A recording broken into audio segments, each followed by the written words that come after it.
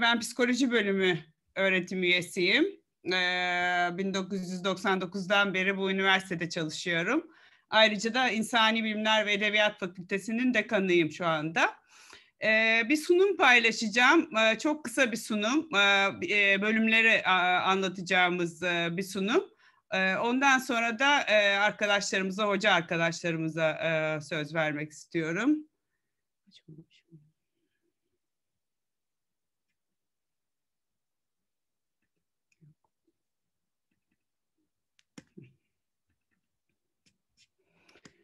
Evet, e, fakültemizin e, ismi İnsani Bilimler ve Edebiyat. Buna sosyal bilimleri de ekleyebiliriz. Oldukça kalabalık bir fakülte hem öğretim üyesi açısından hem de e, öğrenciler açısından. E, e, iki tane büyük bölümümüz var, beş tane de biraz daha küçük e, bölümümüz var. E, fakültemizde yedi tane bölüm var. Arkeoloji ve sanat tarihi bölümü, karşılaştırmalı edebiyat bölümü, tarih bölümü, medya ve görsel sanatlar bölümü, felsefe bölümü, psikoloji bölümü ve sosyoloji bölümü. Bunlardan psikoloji, sosyoloji ve tarih üniversite kurulduğundan beri yani 93 yılından beri aslında var olan e, bölümler. Yavaş yavaş büyüdüler ama diğer bölümler daha sonra eklediğimiz bölümler. E, bu bölümler birbirinden oldukça farklı olabiliyor aslında e, tahmin edebileceğiniz gibi bir arkeoloji ve sanat tarihi bölümü e, psikoloji bölümünden e, farklı şeyler yapıyor aslında ama e, belki rektör sunumuna da katılmışsınızdır. Bizim sunumlara da katılmış olabilirsiniz. E, fakülte içinde e, birçok çift ana dal yapan ya da diğer bölümlerden en azından ders alan, yan dal yapan birçok bir öğrencimiz var. Yani oldukça interdisipliner bir yapıya sahibiz. Bölümler arası etkileşim hem eskiden en azından fiziksel olarak çok mümkündü. Hocalar aynı koridorları e, paylaşıyorlar. Yani bir tarih hocasıyla aynı aynı koridorda oluyor medya ve görsel sanatlar hocası ya da psikoloji hocası. E, ayrıca da öğrenciler de e, bizim çekirdek program dediğimiz program sayesinde kendi bölümlerinin dışında birçok ders alabiliyorlar. Yani bu fakültede işletmeden de olsanız, endüstri mühendisliğinden de olsanız bu üniversitede demek istedim. Psikolojide de olsanız mesela felsefe dersleri alabileceksiniz. Hatta almanız isteniyor çekirdek programı kapsamında. Bunlar bölümlerimiz. Bu bölümden bugün her birinden birer hoca ve birer mezun öğrenci temsilcimiz var. Onlar da söz alacaklar. E, İnsani Bilimler ve Edebiyat Fakültesi ayrıca e, üniversiteye e, bir takım destek programlarıyla hizmet veriyor. Bunlardan e, ilk ikisi burada sağ kolonda gördüğünüz akademik yazı programı ve yazma geliştirme merkezi dediğimiz aslında aynı hocalar tarafından yürütülen programlar. Yazıya önem vermemiz gerektiğini düşünüyoruz. Özellikle ikinci dilimizde yaptığımız e, bir eğitim var bir e-mailden tutun rapora veya akademik bir yazıya e, yazının çok önemli olduğunu biliyoruz ve, ve biz de e, en başından itibaren üniversiteye girdiğinizden itibaren bir genel yazı dersi, academic writing dediğimiz bir de kendi alanınızla ilgili e, bu e, işletmede e, writing olabileceği gibi insani bilimlerde humanities'de writing veya sosyal bilimlerde social sciences'da writing gibi birçok writing derslerimiz daha e, özel writing derslerimiz var. Hukuk fakültesi ayrıca onlara da ayrı bir writing dersi e, veriyoruz. Yani mümkün olduğu kadar yazınızı e, geliştirmeye e, uğraşıyoruz burada.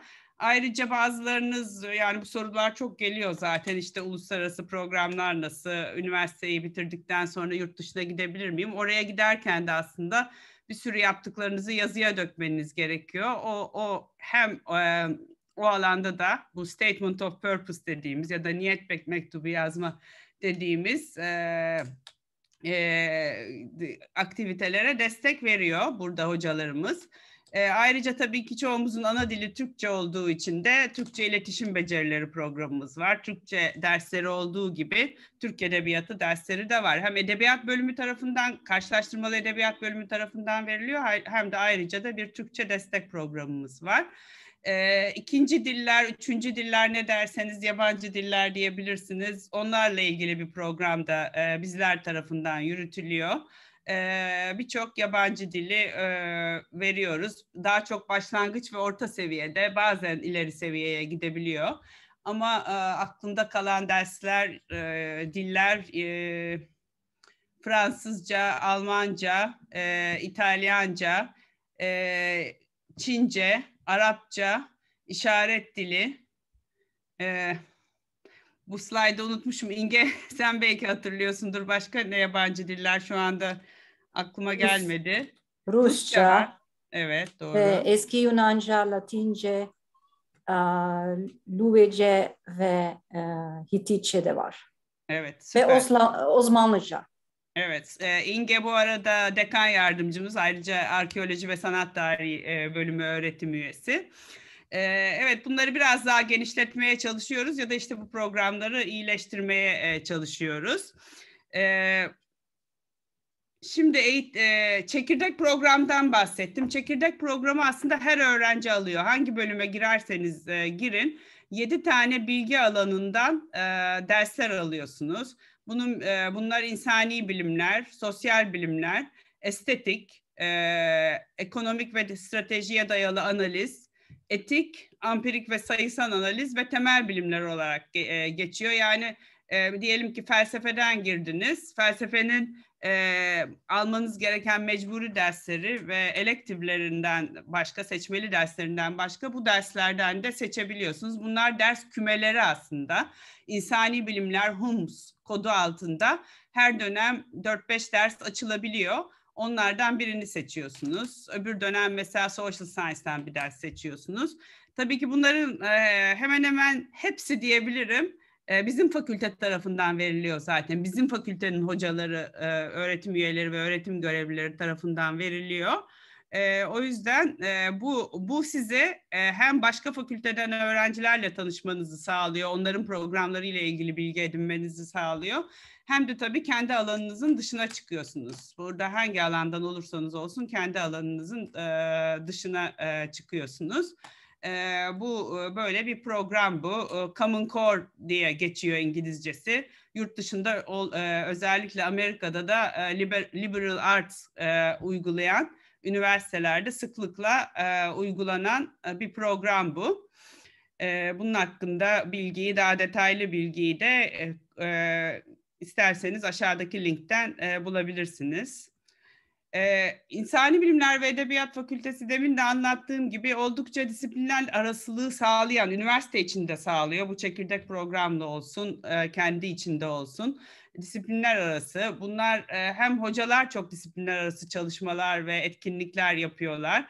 E, burası bir araştırma üniversitesi olduğu için e, araştırma yapıyor hocalar. Yüksek lisans ve doktora öğrencileriyle birlikte yapıyor.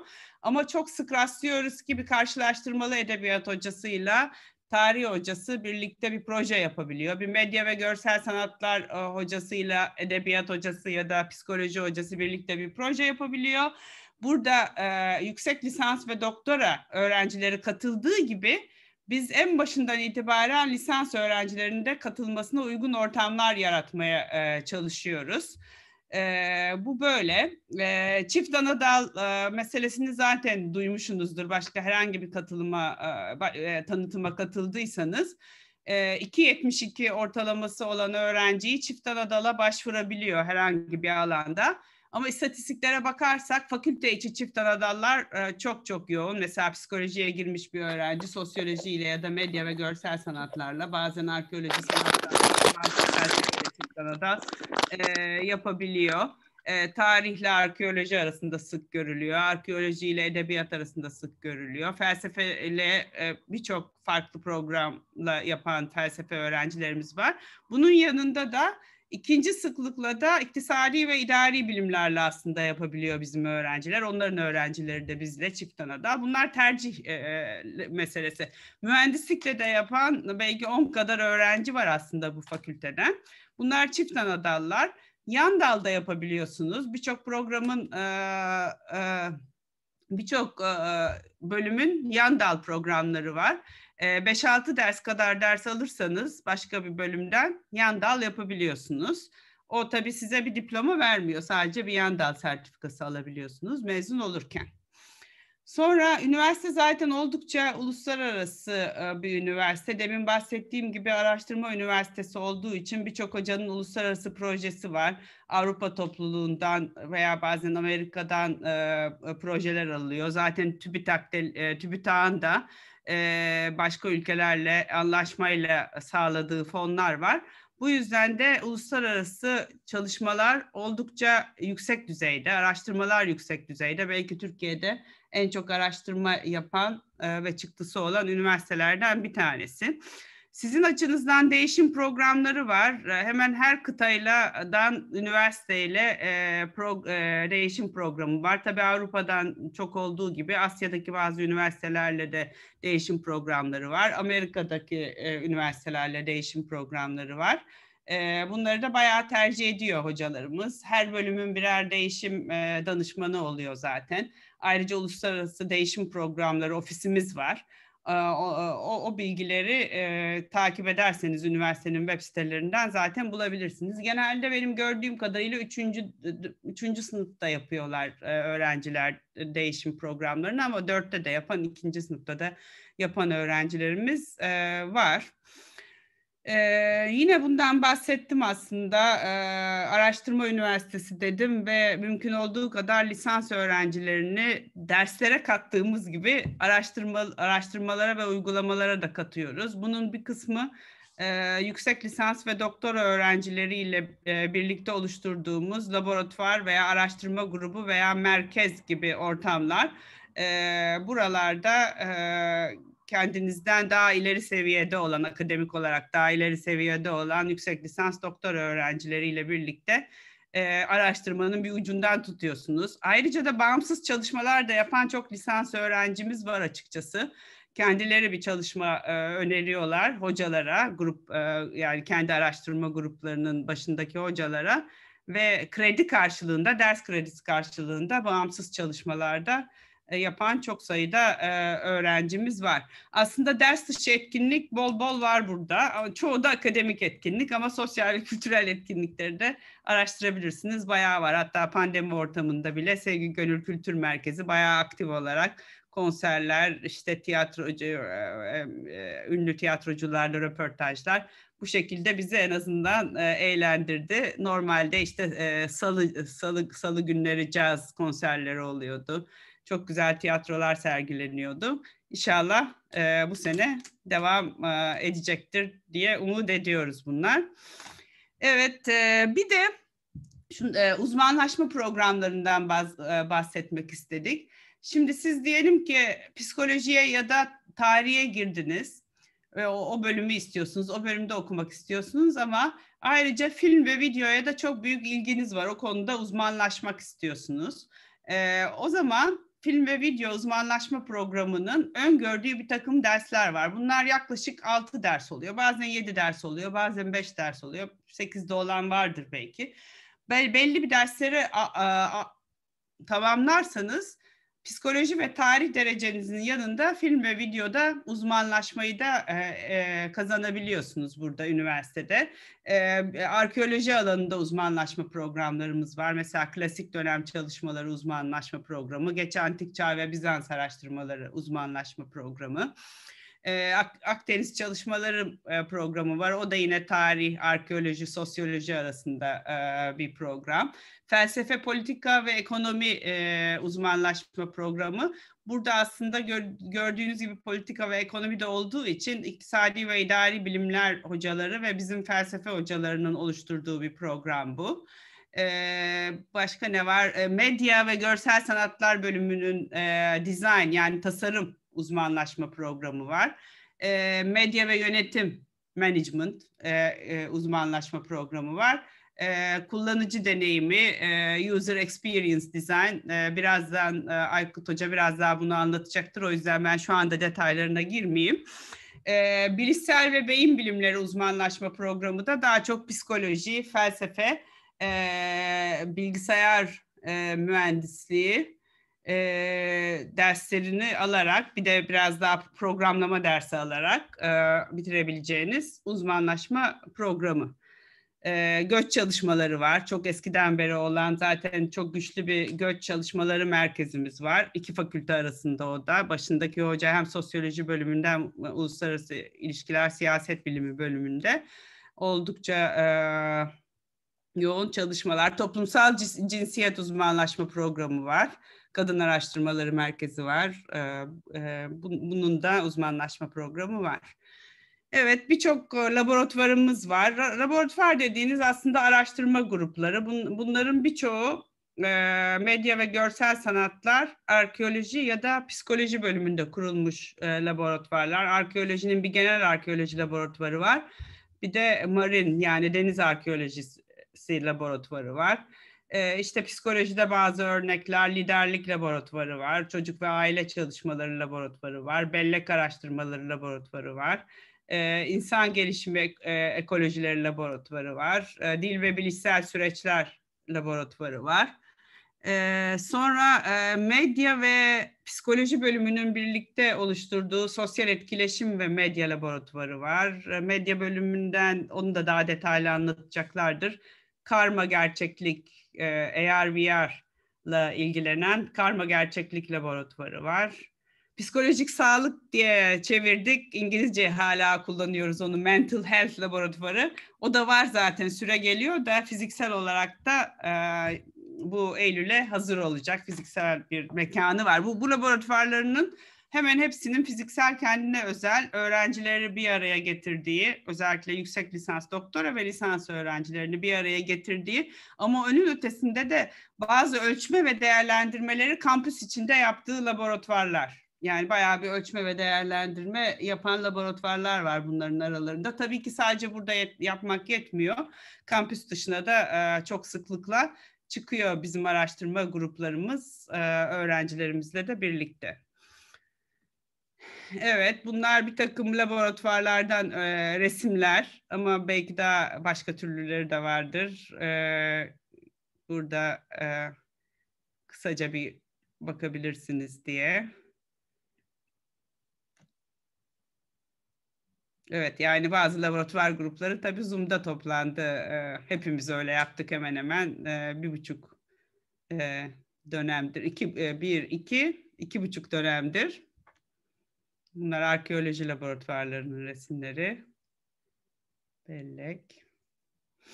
Evet, laboratuvarlar dışında araştırma merkezleri var. E, diyeceksiniz ki farkı ne? Çünkü laboratuvarlar da bir anlamda araştırma grupları.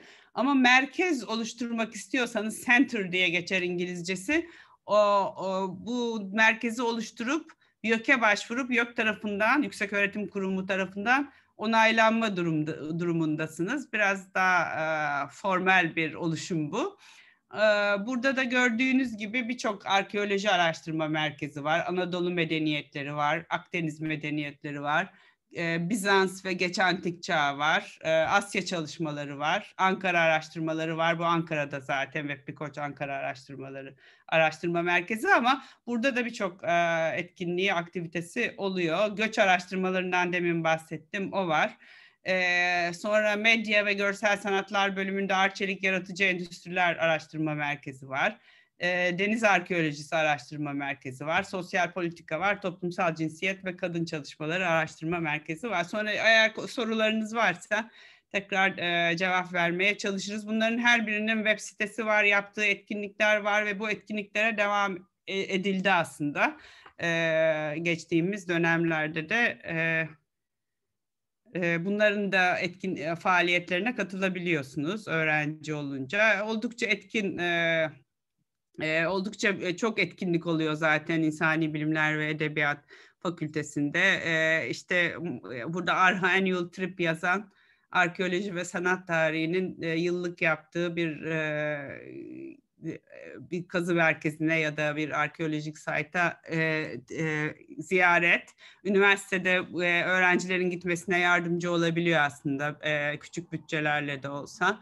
İşte e, yani Yunanca ve Latince hitabet yarışması ben de bir tanesinde katıl, katılmıştım. Bayağı eğlenceliydi. O tür şeyler yapılıyor. Burada aşağıda gördüğünüz bunlar e, e, sağ e, sağ alt tarafta gördüğünüz e, bir takım hocaların tipografik portreleri bunu bir tipografi dersinde e, yaptılar. E, görsel tasarım veya tipografi dersi veren Çağla Turgul hocamızın e, liderliğinde öğrenciler. İşte bizim bizim portrelerimiz, birçoğumuzun portreleri var. E, ana med demin bahsettiğim e, Anadolu Medeniyetleri Merkez Merkezi. Onların çok güzel, çok sık konuşmaları oluyor. Bunlara hangi bölümden olursanız olun tabii ki katılabiliyorsunuz. Ana medin zaten merkezi Beyoğlu'nda. Orada oluyordu konuşmalar. Ee, Birçok hocalar kitap yazdığında kitap konuşmaları, kitap tanıtım e, etkinlikleri de orada olabiliyor. Evet. Evet, e, şimdi ben e, e, size kısaca şu e, slaydı göstereyim. E, bugün e, bu programa katılan öğretim üyelerimiz ve mezunlarımız var. E, bunları e, e bunları bir e, kısaca hemencecik bir okuyayım. Arkeoloji ve sanat tarihi e, hocamız e, Çiğdem Maner burada. Ayrıca yanında zannediyorum kendisi e, kazıda, kendisi daha iyi anlatır. Kayalı Pınar'da diye tahmin ediyorum. Veya neredeyse kendisi anlatacaktır. Bir iki kazıyı devam ettiriyor şu anda. Hanife Nurbahar Kurtlu ve e, Gökçe Öztürk e, öğrenciler e, şu anda e, zannediyorum e, mezun değil kendileri hala öğrenci. Felsefe bölümünden Erhan Demircioğlu hocamız var ve onunla birlikte Enver Ali Akova öğrencimiz var. Karşılaştırmalı Edebiyat bölümünden Ceyhun Arslan hocamız var ve öğrencimiz Berfin Çiçek var. Medya ve Görsel Sanatlar bölümünden Aykut Coşkun hocamız var ve öğrencimiz Salih Berk Dinçer var. Psikoloji bölümünden Mehmet Eskin hocamız var ve öğrencimiz e, aslında şu anda doktor öğrencisi oldu ama e, Çiğdem İremileri hem medya ve görsel sanatlar hem de psikoloji mezunumuz. Sosyoloji bölümünden e, zannediyorum Erdem Yörük hocamız da burada. Tam göremedim onu ama Murat Ergin hocamızı gördüm. Onlar var ve Nehir Kaygısız var öğrencimiz. E, tarih bölümünden de e, Yonca Köksal e, hocamız var ve Defne Karakaya var. E, bu şekilde devam edeceğiz. Herhalde bu sırayla e, de, devam etmemiz e, mantıklı olacak. E, şunu ben kapatacağım şu anda ben kendi ekranımı. E, Gizem e, İstiyorsanız şöyle devam edelim. Oradaki sırayla arkeoloji ve sanat tarihiyle devam edelim. Belki Çiğdem Hoca bir başlar. Sonra aynı bölümün öğrencileri konuşmak isterse kısaca konuşur. Mutlaka soru cevaba en sonda mı bıraksak yoksa belki bölüm son yani bölümlerin sunumu bittikten sonra da kısa bir soru cevap zamanı yapabiliriz bence arkeoloji ve sanat tarihi bittikten sonra en sonda da kalır diye düşünüyorum genel sorulara e, zaman. Bana da sorabilirsiniz tabii daha gelen sorular. Evet Çiğdem Hocam sizle devam edebiliriz istersek. Çok teşekkürler. Merhaba herkese. Benim adım Çiğdem. Ee, arkeoloji ve sanat tarihinde e, öğretim üyesiyim. Sizler için küçük bir e, sunum hazırladım. Ee, daha önce de Aylin Hoca'nın dediği gibi arkeoloji ve sanat tarihi bölümü geniş bir yelpazeyi kapsamaktadır. Ve aslında Türkiye'de bu tip bir bölüm sadece Koç Üniversitesi'nde var. Dolayısıyla burada alınacak eğitim gerçekten unik ee, ve çeşitli konuları kapsamaktadır. En başta tabii arkeoloji ve sanat tarihi ama onun dışında görsel kültür, müzecilik, kültür mirasını koruma çalışmaları, arkeometri, teori, pratik ve en altta antik diller var, vardı aslında ama o çıkmamış anladığım kadarıyla. En azından ben burada göremiyorum.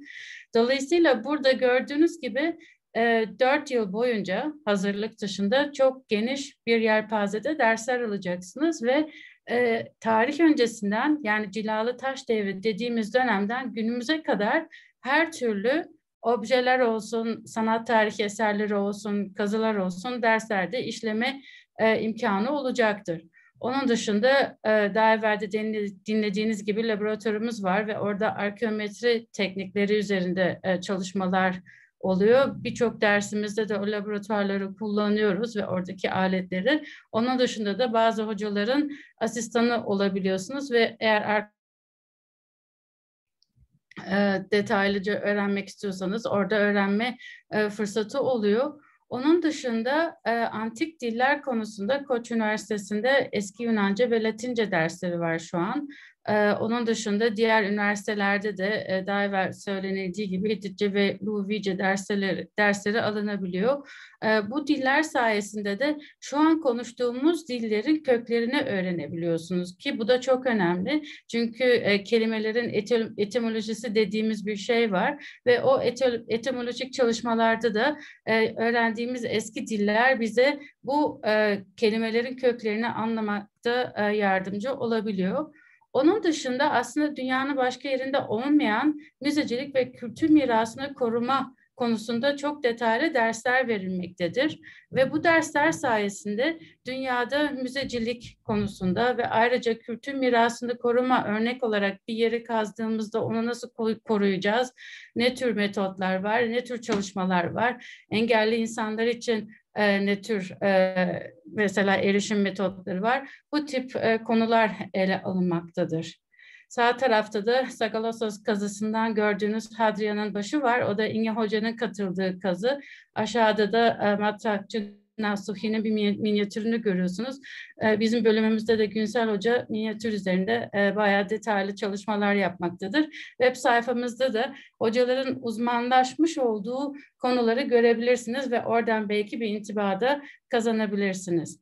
Onun dışında alacağınız derslerin dışında birçok imkan var ve bu imkanlar daha evvel de Aylin Hoca'nın dediği gibi farklı uz uzmanlaşma programlarını kapsamaktadır.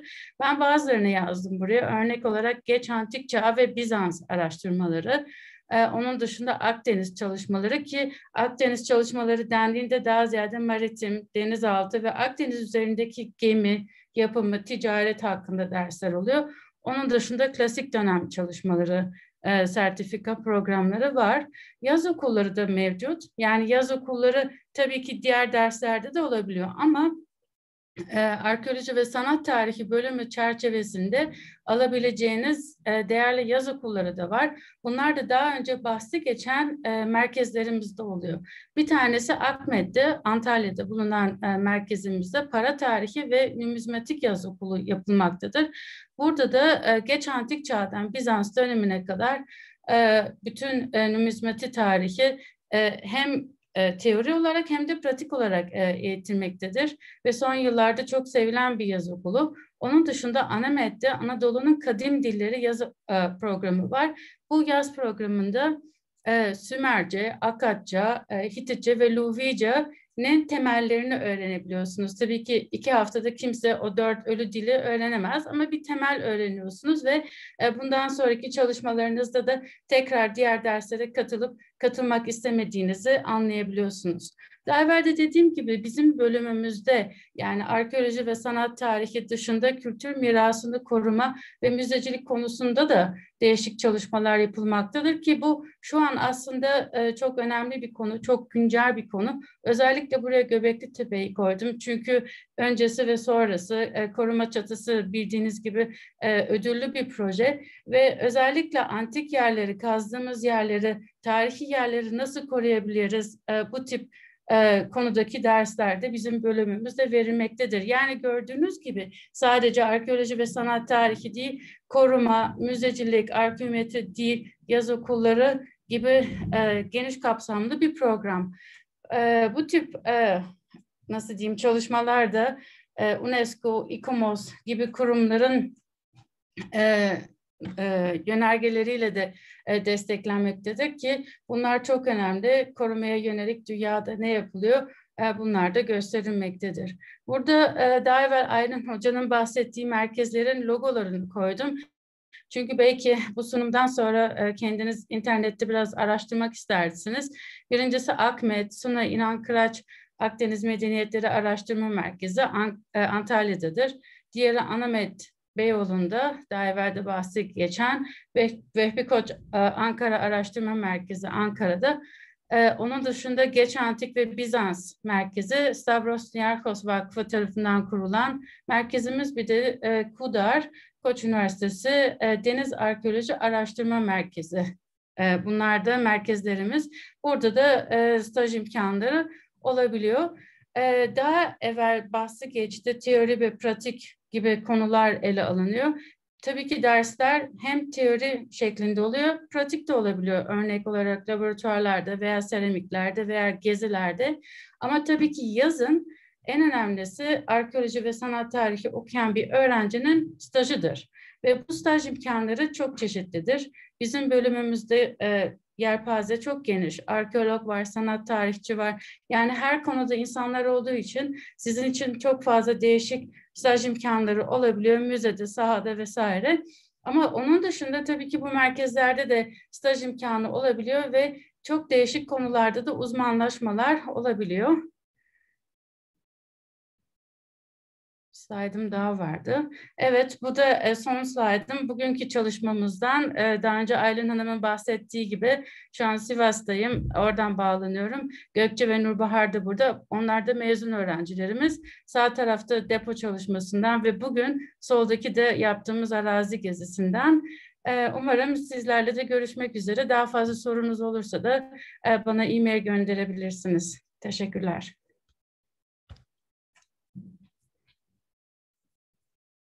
Pardon. Ee, çok çok teşekkürler e, Çiğdem. Tamam Kayalı Pınar'daymışsın. Doğru bildim. Çok güzel e, resimlerde. E, e, şimdi Nurbahar ya da Gökçe e, sizin söylemek istediğiniz e, burada öğrenci olarak e, kısa e, ne diyebilirsiniz burada arkeolojiyle ilgilenen, çift anadal yapmak isteyen veya anadal olarak girmek isteyen öğrenci adaylarına? Onu bir dinleyelim. İsterseniz önce ben başlayayım. Tamam. Sesim geliyor mu? Evet, çok güzel geliyor. Merhabalar herkese. Ee, yani ben önce kısaca bahsedebilirim Koç Üniversitesi'ndeki eğitimimden. 2015 yılında Arkeoloji ve Sanat Tarihi bölümüne girdim. Sonra çekirdek ders programı sayesinde ekonomiye olan ilgimi keşfettim ve ekonomi bölümüyle çift ana dal yaptım. Son olarak da yine e, ilgi alanlarım doğrultusunda tasarım uzmanlaşma programını tamamladım. Ve e, bu üç programdan dersler alabilmek kesinlikle benim için çok besleyici, zenginleştirici oldu. E, şu anda da Koç Üniversitesi'nde Arkeoloji ve Sanat Tarihi yüksek lisans programına başladım. İlk yılda okulda olacağım. E, eğer isterseniz her zaman bana ulaşabilirsiniz herhangi bir konuda. Hmm, genel olarak Arkeoloji ve Sanat Tarihi bölümü zaten kendi içinde interdisipliner bir bölüm ve gerçekten başlangıçta aklınızda olmayıp sonradan daha çok ilginizi çektiğini fark ettiğiniz alt alanlar olacak ve sizin için aslında çok keyifli bir keşif yolculuğu olacak diyebilirim. Birçok arkadaşımdan da bu şekilde duyuyorum. O yüzden e, özellikle kendinizi şu anda e, emin hissetmiyorsanız belli bir alan konusunda e, bu his normal ve okul içindeyken çözülecek bir şey olarak görebilirsiniz. Teşekkürler. Çok teşekkürler Nurbahar. Yine arkeolojiye dönmüş olmana yüksek lisansa çok sevindim ama herhalde çok zenginleştirdi seni diğer programlarda. Çok güzel. Ee, Gökçe sen, e, sizden de kısaca bir dinleyebilirsek. Tabii. Ben Gökçe Öztürk. 2020 ah 20 değil tabii ki 2015'te kimya bölümüyle e, Koç Üniversitesi'ne başladım. Üçüncü sınıfta arkeoloji ve sanat tarihi çift anadalına e, başladım. E, ben de e, 2021'de mezun oldum Şubat geçtiğimiz Şubat'ta ve eğitimime yüksek lisansı Almanya'da Tübingen Üniversitesi'nde bilimsel arkeolojide devam edeceğim. E, arkeoloji ve sanat tarihi kalbimi çaldı diyebilirim. Gerçekten Nurbahar'ın dediği her şeye çok katılıyorum. Bu bölüm yani benim için çok büyük bir şanstı. Okulun bu fırsatı sunması benim için. Çünkü sayısal bir bölümden gelip şu anda çok çok farklı bir yere doğru yöneldim ve hem kimyayı hem arkeolojiyi ve sanat tarihini birleştirebileceğim bir yere doğru ilerliyorum ve bu kesinlikle Koç Üniversitesi ve içindeki her hocanın sayesinde oldu. E, aklınızda olan sorular varsa Fen Fakültesi ile İnsani Bilimler Fakültesi çift anadalı nasıl olur? Her zaman benimle de iletişime geçebilirsiniz. E, çok güzel bir bölüm, çok e, güzel bir okul. Biraz hüzünlüyüm ayrıldığım için. Pandemiyle ayrıldım ama e, umarım çok daha güzel günlerde tekrar olacağım. E, teşekkür ederim. Evet mezun olmana rağmen kazıdasın o da çok iyi bir şey. Muhakkak ki kimya bilgini de kullanıyorsun gibi geliyor bana arkeolojide ama. Yani kullanmaya çalışıyorum. tamam oldu. Geçtik diyorsun. Peki çok teşekkürler. Yani şu anda soru da alabiliriz ama şöyle bir şey var. E, karşılaştırmalı edebiyattaki öğrencimiz Berfin 8'de bitiyor zannediyormuş ve e, çıkması gerekiyormuş. O yüzden müsaadenizle o bölüme geçelim. Ceyhun Arslan hocamız sunumunu yapsın. E, kusura bakmayın felsefe bölümü Erhan Hoca ve Ali e, böyle olsun. E, sonra soruları alalım hem felsefe için hem arkeoloji için. Sonra e, edebiyat bölümümüze geçelim. Tamam. Pardon, felsefe bölümümüze geçelim. Evet. Tamam. Teşekkürler Ceyhun. Tabii ki. Herkese merhaba. Ben Ceyhun Arslan. Karşılaştırma Edebiyat bölümünde doktor öğretim üyesiyim ve Arap Edebiyatı, Akdeniz Edebiyatı, Osmanlı Edebiyatı ve Edebi Teori üzerine uzmanlaşmaktayım. Ve bugün de bölümümüzü tanıtacağım. Şimdi karşılaştırma edebiyat nedir? Aslında bu zor bir soru, cevaplandırması zor ama bir örnekten yola çıkacağım ben. Şu an 1895 yılında yayınlanmış Servet-i Fünun dergisinden bir fotoğraf görmektesiniz. Bu fotoğrafta aslında Magnezya arkeoloji kalıntılarından As Asara Atika yani arkeoloji şeyi. Ve o dönemde aslında hani birçok geç Osmanlı yazarları arkeolojiye ilgi duyuyor. Fotoğrafları Servet-i Fünun gibi birçok dergide çıkıyor. E, bunun üzerine düşünüyorlar. Hatta edebiyat eserlerini etkilemeye başlıyor bu arkeolojik kazılar 19. yüzyılda. Sonra hatta 19. yüzyılda bu arkeoloji üzerine çalışmalar medeniyet hakkındaki tartışmalara yol açıyor. Ve bu medeniyet hakkındaki tartışmalar da en sonunda edebiyat hakkındaki e, çalışmalara evriliyor bir nevi. Çünkü neden? İşte her medeniyetin bir dili vardır. Bu dilde edebiyat böyle bir inanış yaygınlaşıyor 19. yüzyılda. Bu sadece Osmanlı İmparatorluğu'nda değil, Avrupa'da da böyle zaten. Hani tarih disiplinine baktığımızda. Ve hatta işte İngiliz dili ve edebiyatı veya Türk dili edebiyatı, Alman dili edebiyatı bu gibi bölümlerin tarihine baktığınızda genelde 19. yüzyılı görürsünüz. Neden? İşte o edebiyatı çalışalım ki yani Alman edebiyatını çalışalım ki Alman medeniyetini anlayalım. Böyle bir e, görüş söz konusu. İşte karşılaştırma edebiyat daha değişik bir edebiyat çalışması sürüyor. Daha tabii ki Alman toplumunu anlamak için sadece Alman edebiyatı çalışmak da önemli olabilir. Ama karşılaştırma edebiyatta tabii ki farklı dillerde üretilmiş edebiyatları çalışıyorsunuz. Aynı zamanda bir metinde bile birden çok dil olabiliyor. Mesela şu fotoğrafa bakın altında hem Osmanlıca var hem Fransızca var. Yani bir metinde birden çok dil olabiliyor. Bunlar arasındaki etkileşim nedir?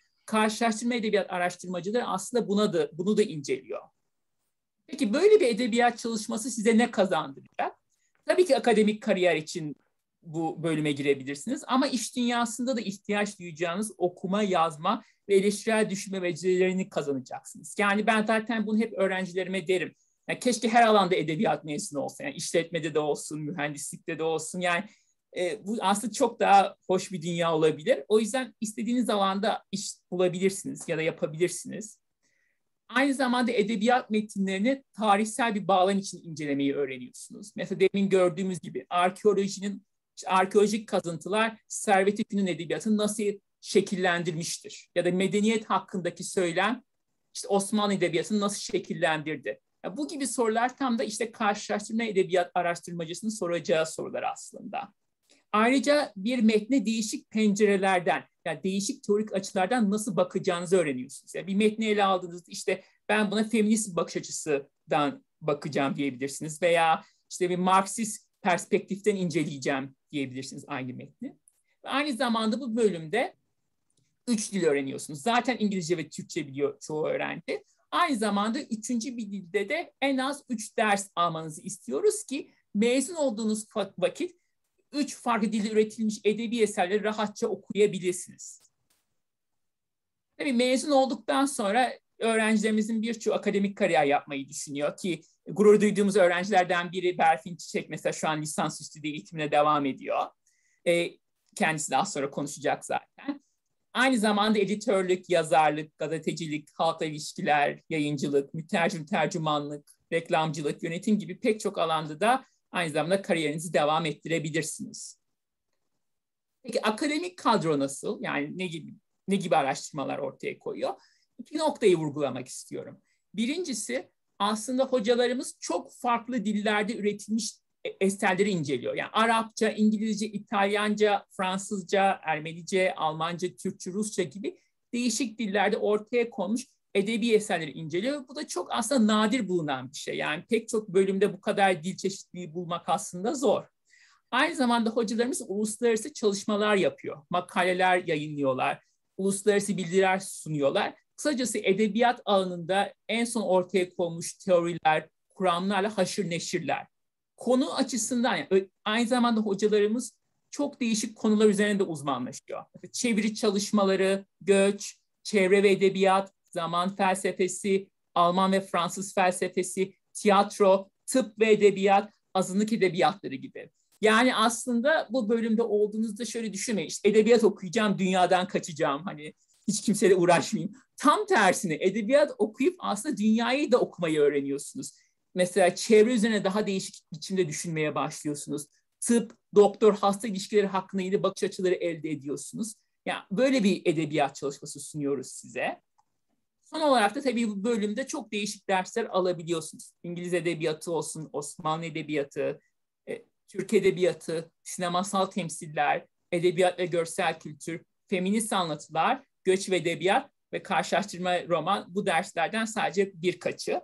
Kısacası e, disiplinler arası ve karşılaştırmalı bir perspektiften edebiyatı incelemek istiyorsanız bizim bölüm ideal bir bölüm. Öyle düşünüyorum. Çok teşekkür ederim. Herhangi bir soru cevaplamaktan büyük bir memnuniyet duyarım. Çok teşekkürler. Ee, e, Ceyhun e, bir e, Berfin de aklındakileri bir aktarsın arkadaşlara. Ondan sonra biraz soru e, alabiliriz biraz duraksayıp. Çok teşekkürler Berfin. Kusura bakma yanlış bilgi verilmiş sana. Ama ee, rica ederim hocam. Evet, Çok vaktimiz var şu anda. Ee, herkese merhaba. Ee, ben de 2020 yılında karşılaştırma edebiyat bölümünden e, mezun oldum. Aynı zamanda sosyoloji yandalı yaptım ve e, toplumsal cinsiyet çalışmaları uz, uzmanlaşma programını tamamladım. E, şu anda Sabancı Üniversitesi'nde e, kültürel çalışmalar yüksek lisans programı öğrencisiyim ve toplumsal cinsiyet araştırmaları merkezi asistanıyım. E, yani Ceyhun Hocam tabii ki bölümümüzü çok güzel anlattı. Ben de bölümümüzün mezunu olarak deneyimlerimden bahsedeyim. E, hocamızın dediği gibi bu bölüm çok dilli bir bölüm. O yüzden bizden e, üçüncü bir e, dilin hani Türkçe ve İngilizce hariç ay, ayrı bir dilin e, derslerini almamız isteniyor. E, ve ben bu dersler sayesinde mezun olduğumda Fransızca ve Almanca okumalar yapabiliyor hale geldim. E, şu anda da yüksek lisans e, çalışmalarım boyunca Farsça okumalar yapıyorum. E, ve hani Koç Üniversitesi'ndeki al, e, seçmeli dersler beni e, çok e, interdisipliner bir hale getirdi. Yani bu sayede bilgim çok arttı ve şu anda yani modern Alman edebiyatı çalışırken bir anda kendimi modern İran edebiyatı çalışırken buldum gibi söyleyebilirim. Yani bu anlamda karşılaştırmalı edebiyat bölümü çok kapsamlı, çok bilgi dolu bir bölüm. Ee, özellikle onur tezi programımızdan bahsetmek istiyorum. Ee, son sınıfa başladığımda e, hocalarımın e, advisorlığı altında bir e, onur tezi yazdım. E, ve bu süreçte Ceyhun Hoca'nın e, ve Nergis Hoca'nın desteği çok büyüktü. Yani hem beni lisansüstü çalışmalarına hazırladılar hem de e, bana e, neredeyse gelecekte bir meslektaş meslektaşları gibi e, davranıp e, beni gerçekten akademiye karşı çok e, tutkulu bir hale getirdiler. Bu konuda hani Ceyhun hocama çok teşekkür ediyorum. E, bunun haricinde söyleyebileceğim e, hocalarımızın yanında araştırma yapabiliyoruz. Hocalarımızla çalışabiliyoruz. Koç Üniversitesi yayınları ve Yapı Kredi yayınlarında staj yapma imkanımız var. Ben de bu bize sunulan fırsatlardan yararlanarak e, editörlük yapma deneyimi buldum. Aynı zamanda işte o e, edebiyat bölümü mezun olmanın verdiği o yaratıcılık e, e, nasıl desem e, yaratıcılıkla bir şekilde hani reklamcılık e, şirketinde de kısa bir çalışma deneyimim oldu ve gerçekten gördüm ki aslında her e, sektörde ar- aranılan şey e, analiz edebilme yeteneği ki biz bunu edebiyat bölümünde zaten çok fazlasıyla e, geliştiriyoruz.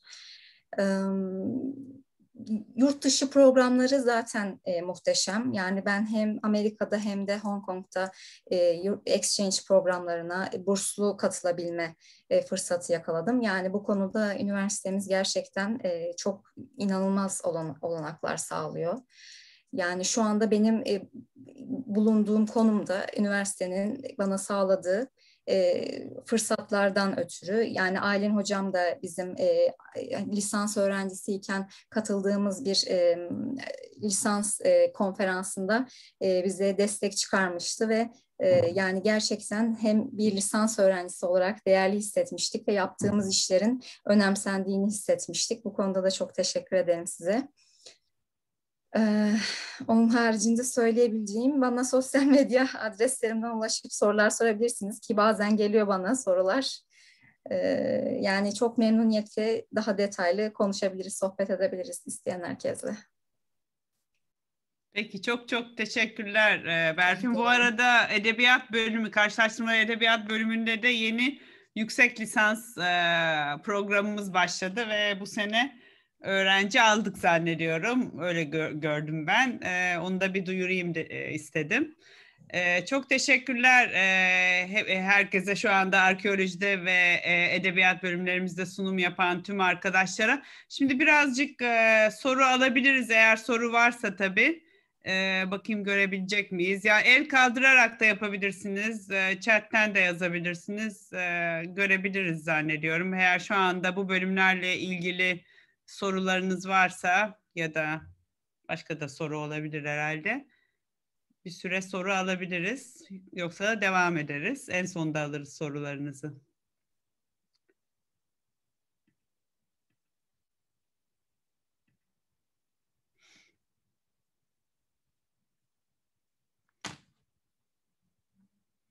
Ben şu ana kadar bir soru görmedim. Ha.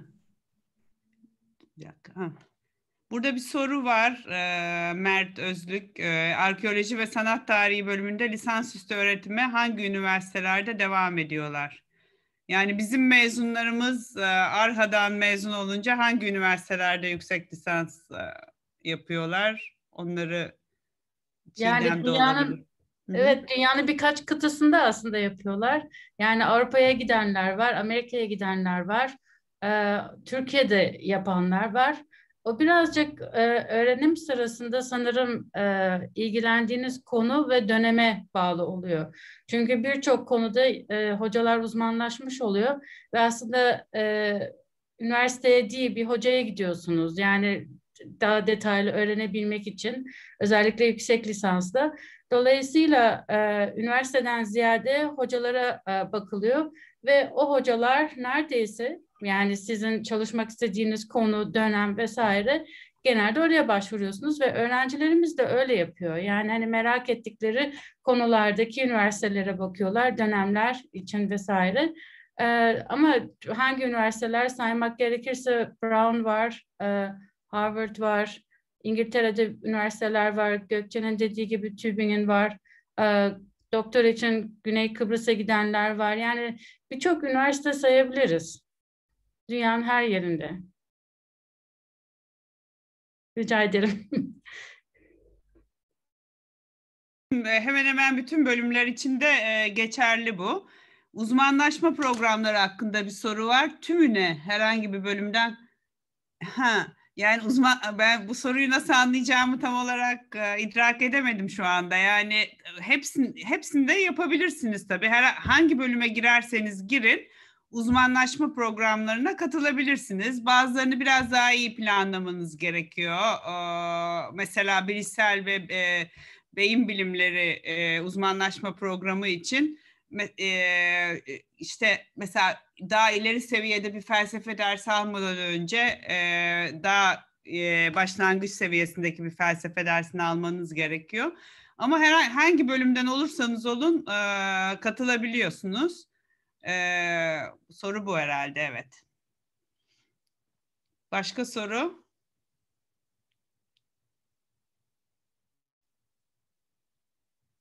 Evet, ALHA öğrencisi e, tasarım sertifikası aldı aynen. Aykut Hoca cevap vermiş. ayrıca ekonomiyle de çift anadal yapıyor Nurbahar değil mi? evet o yüzden hani böyle öğrencilerimiz var. Bazı öğrencileri tek ana dalda kal sen e, diye özel ilgileri oluyor ama birçoğu aslında istatistikler galiba yüzde 33'ü çift ana dal yapıyor koç öğrencilerinin şu anda bütün üniversitede bakarsak. Genelde tıpçıların yapmadığını düşünün. Hukukçular da pek yapmıyor. Ama mühendislik ve diğer yani bizim fakülteler, e, iktisadi idari bilimler bayağı sıklıkla yapıyor aslında. Başka sorunuz var mı şu noktada? Bu iki bölümle ilgili diyeyim. Peki ben o zaman e, hızlıca Erhan Demircioğlu hocama e, söz, söz vereceğim. O da felsefe bölümünde öğretim üyemiz. E, devam edelim Erhan hocam isterseniz. Sesiniz gelmedi.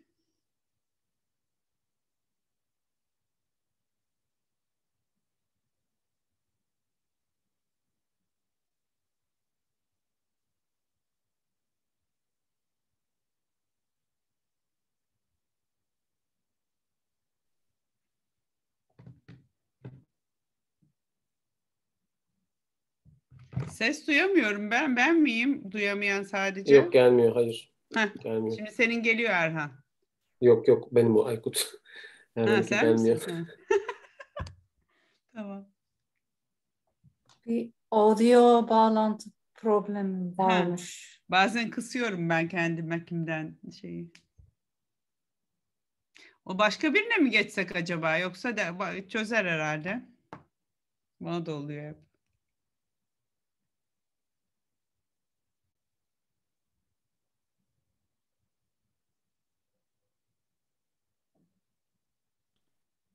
Bir çift yapabilirsin Erhan istiyorsan. İstiyorsan öyle yapalım.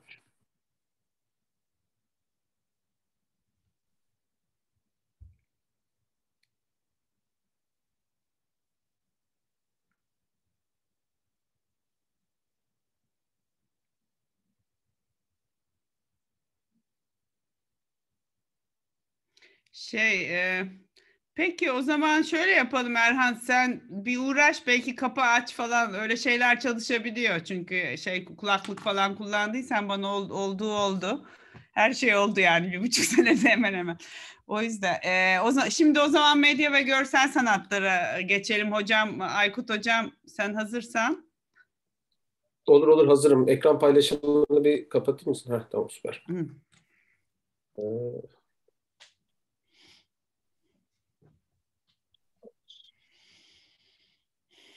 Evet, ekranım görünüyor değil mi?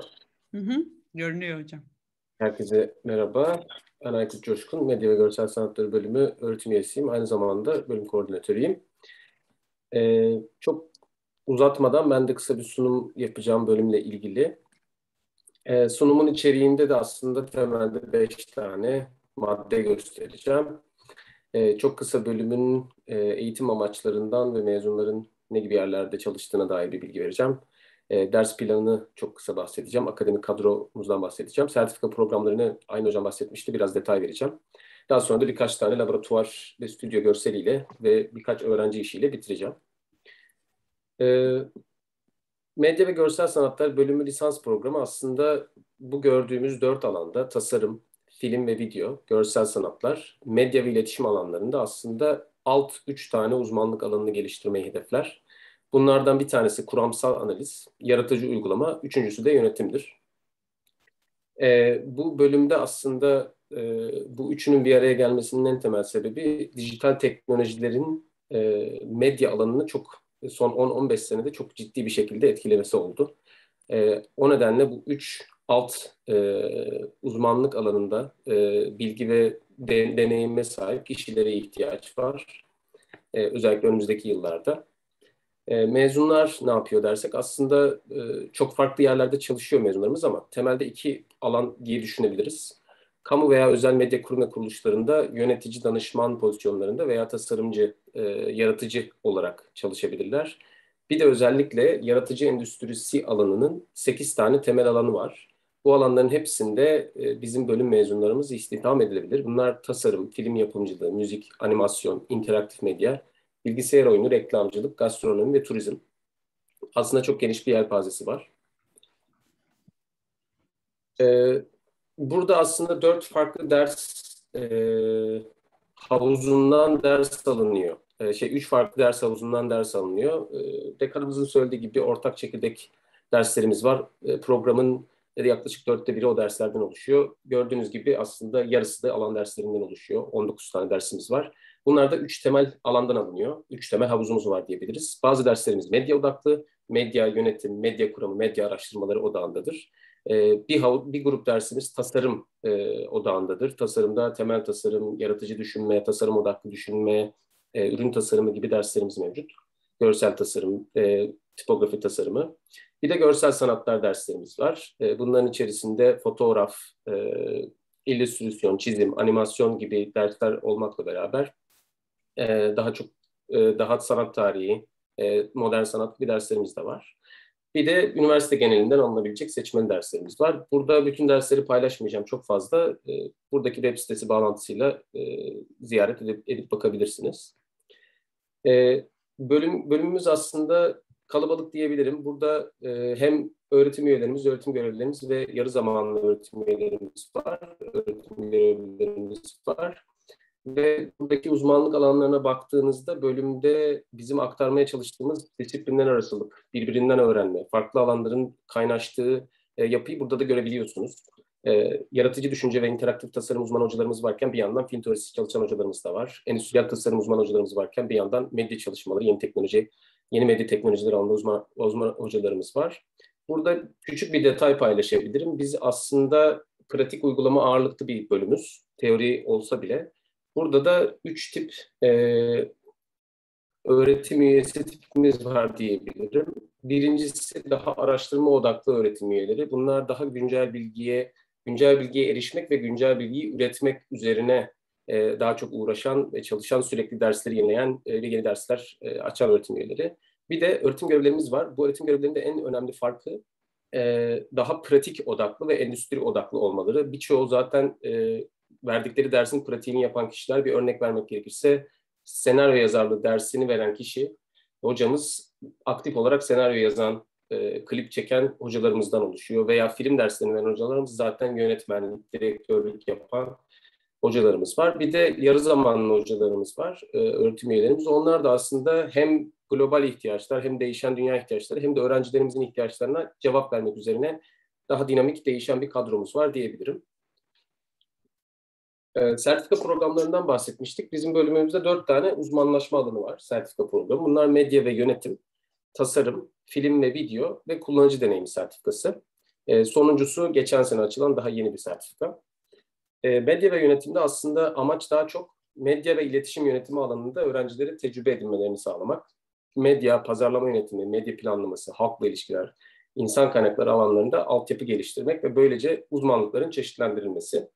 Bu bölümdeki daha teorik ve yönetim e, alanında derslerin e, olduğu bir uzmanlaşma programı. Tasarım sertifika programında da daha çok öğrencilere kendi çalışma alanlarına tasarım prensip ve yeteneklerini dahil etmeleri, e, kuram ve pratik arasında kurulan denge ile öğrencinin yaratıcı çözüm üretme yeteneklerini geliştirmeleri ve böylece de uzmanlıkların tasarım yetenekleriyle çeşitlendirilmesi amaçlanır. Film ve videoda da bu biraz daha yine e, tasarım sertifikası gibi pratik odaklı derslerin daha çok olduğu e, direkt üretime, prodüksiyona yönelik dersler. E, film üretimi, post prodüksiyon, yazılık ve yazarlık ve yönetmenlik alanlarında uygulamalı tecrübe edinmelerini amaçlıyor öğrencilerimizin.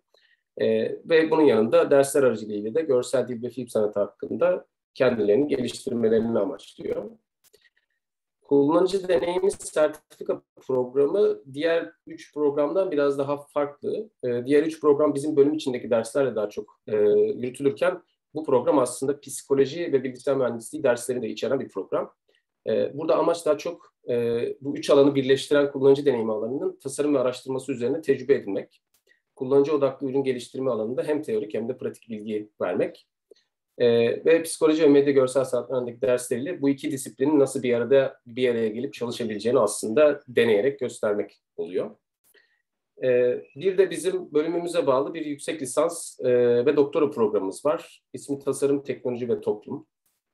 Bu üç tane aslında anahtar kelime e, e, bu doktora programının e, ana e, yapısını oluşturuyorlar. Burada daha çok öğrencilere etkileşim tasarımı, kullanıcı deneyimi tasarımı, servis tasarımı, medya araştırmaları alanında teorik, uygulamalı ve eleştirel bir bakış, açı kazandır, bakış açısı kazandırmayı amaçlıyoruz. E, ve bizim buradaki yüksek lisans programımız aslında sadece teorik değil, uygulamalı araştırma üzerine de e, gelişmiş bir program diyebilirim. Yani sadece teori üretmiyoruz veya metot geliştirmiyoruz, ürün ve tasarım da yapıyoruz. E, burada tezli, tezsiz, yüksek lisans ve doktora e, programlarımız var. E, dört tane aslında araştırma merkezi ve laboratuvarımız var diyebilirim. E, bunların ilki Koç Üniversitesi Arçelik Yaratıcı Endüstriler Uygulama ve Araştırma Merkezi. Arçelik e, ve Koç Üniversitesi ortak fonuyla kurulan 2015'te bir merkezdir. Burada aslında e, uygulama odaklı yani sanayiyi de besleyebilecek araştırma yaptığımız bir meslek, e, bir merkezdir burası. E, bizim için çok kıymetli bir yer. E, ikincisi Karma Gerçeklik Laboratuvarı. Bu da aslında İstanbul Kalkınma Ajansı'nın desteğiyle kurulan bir laboratuvar. E, üç sene önce kuruldu. Burada da daha çok sanal e, artırılmış gerçek gerçeklik, karma gerçeklik çalışmalarının yapıldığı bir laboratuvar. Onun dışında iki tane de Sosyal Etkileşim Medya Laboratuvarı, biraz önce aynı hocam söylemişti, psikoloji öğretim e, Zeynep, e, Zeynep Hoca'yla e, bizim bölümden Nemo Hoca'nın beraber kurduğu bir laboratuvar. En son olarak Sanatsal Araştırmalar Stüdyomuz laboratuvarımız var. Birkaç tane kampüsümüzden bir MABA'nın daha sık kullandığı alanlardan örnekler. Dersliklerimizde genelde stüdyo derslikleri dersliklerinde bu tarz dijital işlerin yapıldığı ders derslikleri bir örnek bu Mava Room. Sanat stüdyomuzda daha çok baskı ve daha e, elle yapılacak işlerin olduğu e, bir stüdyo. E, sergi alanlarımız var. E, tam teşekküllü bir televizyon stüdyomuz var. Bazı derslerimiz burada oluyor. E, yani özellikle film prodüksiyon dersleri burada oluyor. Diğer iki fotoğrafta kuarın içerisinden ve karma laboratuvarın içerisinden fotoğraflar. Son olarak e, ben 2015'ten beri Koç Üniversitesi bu bölümündeyim. Medya Görsel Sanat'ta. Orada temel tasarım dersine girdiğim zaman verdiğim ödevlerin sonucunda çıkan birkaç tane iş örneği. E, sol taraftaki Henry Matisse'in bir işinin tekrar öğrencilerin renk çalışmasıyla yeniden yaptığı bir e, resim tablodur. Orta, ortadaki işler e, bir sesi İstanbul'da duydukları gündelik hayatta e, yaşarken duydukları sesi nasıl görselleştirebiliriz sorusuna cevap veren bir e, iştir. En sağdaki de e, hem bir hikaye yazıp, kısa hikaye yazıp ve o hikayeye uygun kapağı tasarlama diye hem böyle yazarlık hem de görsel tasarımı, görsel, e, görsel sanatı birleştiren bir uygulama ödevidir. E, benim söyleyeceklerim bu kadar. Teşekkürler. Burada da Salih Berk Dinçer var aslında mezun mezun arkadaşlarımızdan. Salih Berk de elektrik, elektronik ve MABA çift anadal aslında. Belki evet, Salih sen çok de bir teşekkür Aykut Hocam. Salih Berk'e söz verelim şimdi de o zaman. Tamamdır hocam, teşekkür ederim. Ee, ben 2015 yılında Koç Üniversitesi Elektrik Elektronik Mühendisliğine girdim. Ee, Anadolu Bursiyeri olarak girdim. 2018 yılında da e, Medya ve Görsel Sanatlar Çift Anadal programı dahilinde e, başladım. Benim her zaman e, yapmaya çalıştığım iş birazcık bu e, disiplinler arası çalışmayı daha transdisipliner alana yaymaktı. E, ve bunun üzerine de e, 2018-2019 yıllarında e, Aykut Hocam'ın bahsetmiş olduğu KUAR, e, Koç Üniversitesi Arçelik e, ile işbirliğiyle açmış olduğu laboratuvarda bazı e, projelere destek sağlama şansı yakaladım.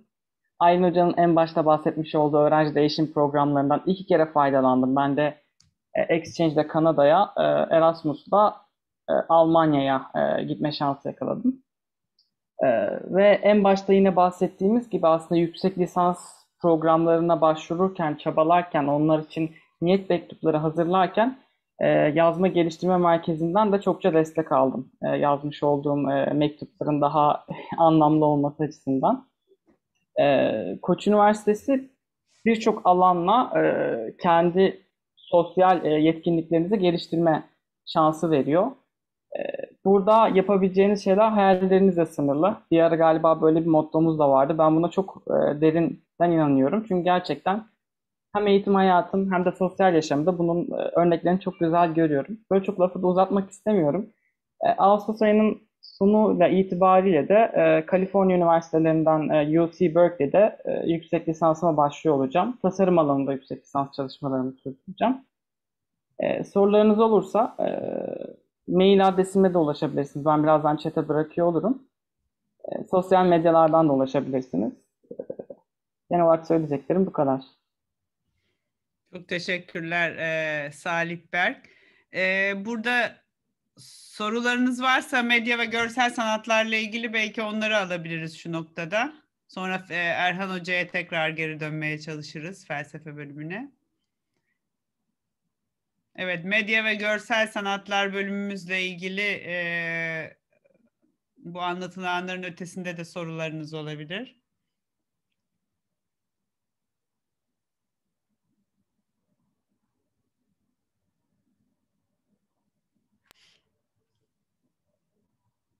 Chat'e bakıyoruz şu an ama bir şey yok galiba. Evet, şu Gelecek- anda bir şey yok chatte. Sesi de sorabilirsiniz tabii ki.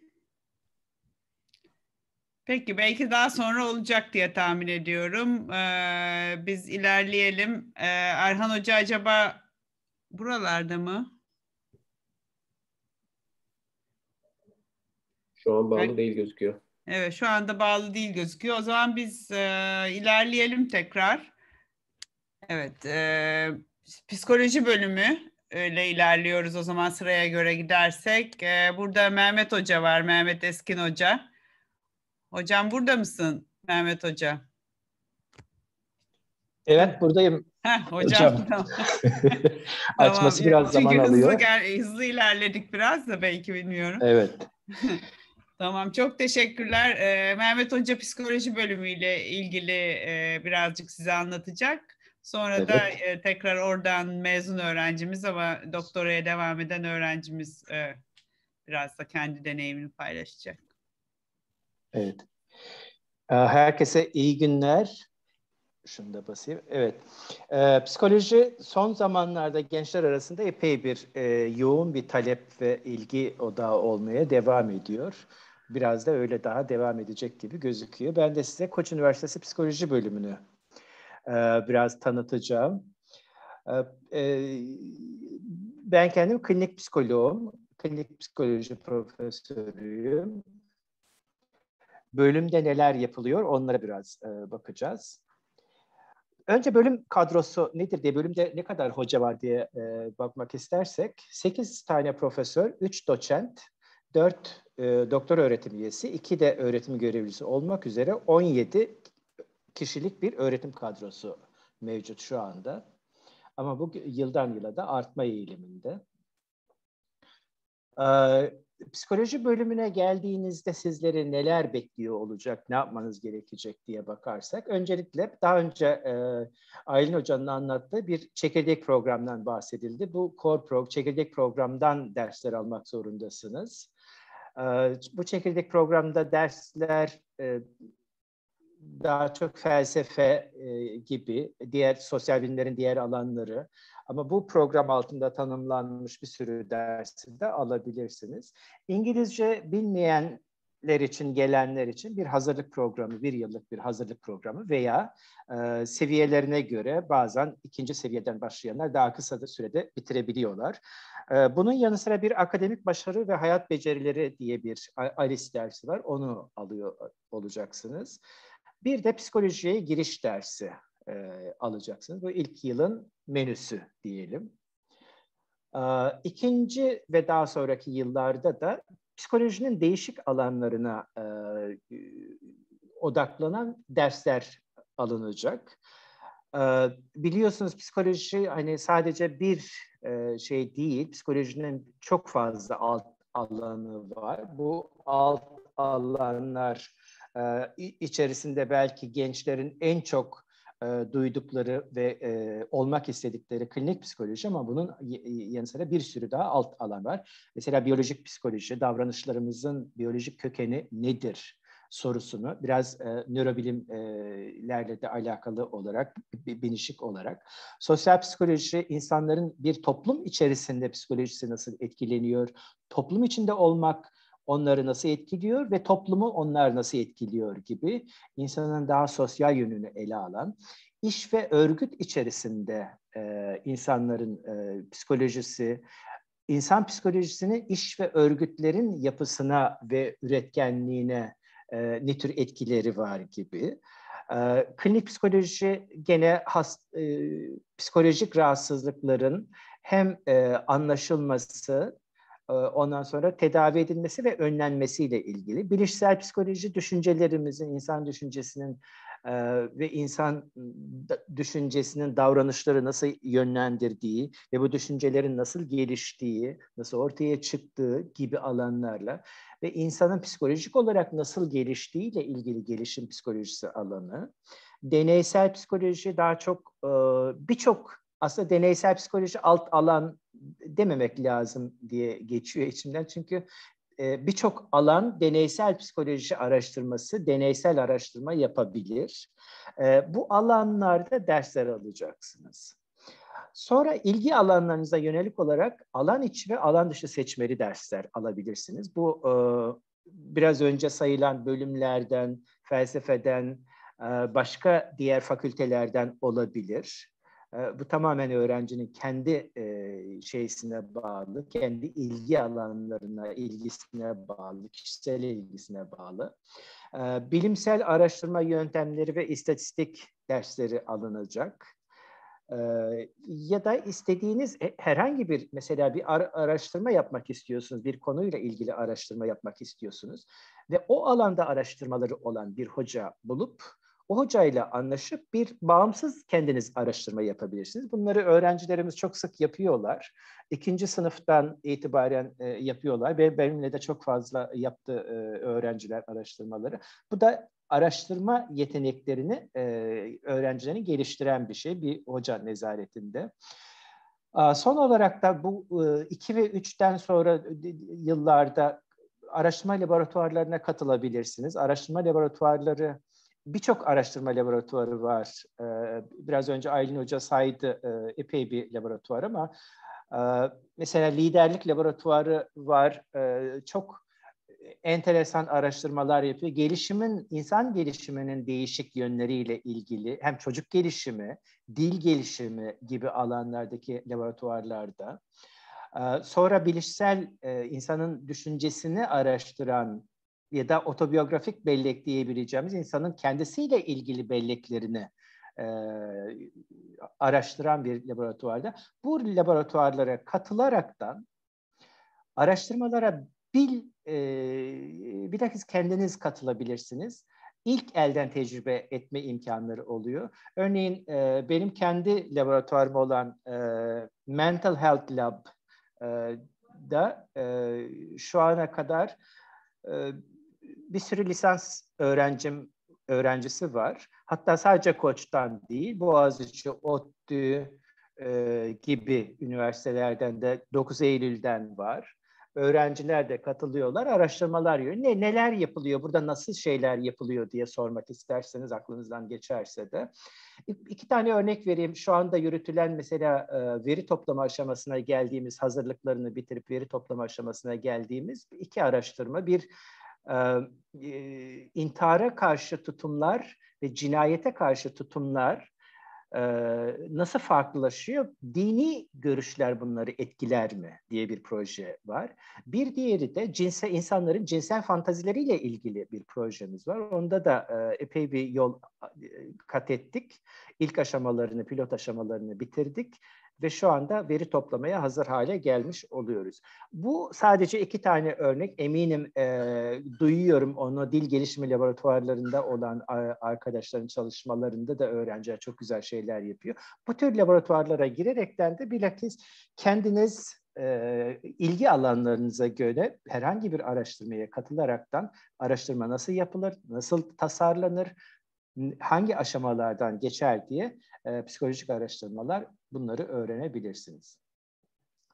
E, bir seçmeli dersler ve bu tür etkinliklerle aslında e, psikoloji bölümünün e, şeysinde öğrenciler kendi eğitimlerini e, kendileri şekillendirebiliyorlar ve benim de hep kafamdan geçen budur öğrencilerin söz sahibi olması ve kendilerinin eğitimlerinde ana hatlar sabit kalmak kaydıyla e, belli şekillendirmeleri yapabilmeleri. E, bölümdeki lisansüstü eğitim olanakları nedir diye baktığımızda psikoloji bölümünde bir genel psikoloji yüksek lisans programı var. Burada da gene sosyal psikoloji, deneysel psikoloji, gelişim psikolojisi gibi alanlarda uzmanlaşaraktan yetişiyor öğrenciler.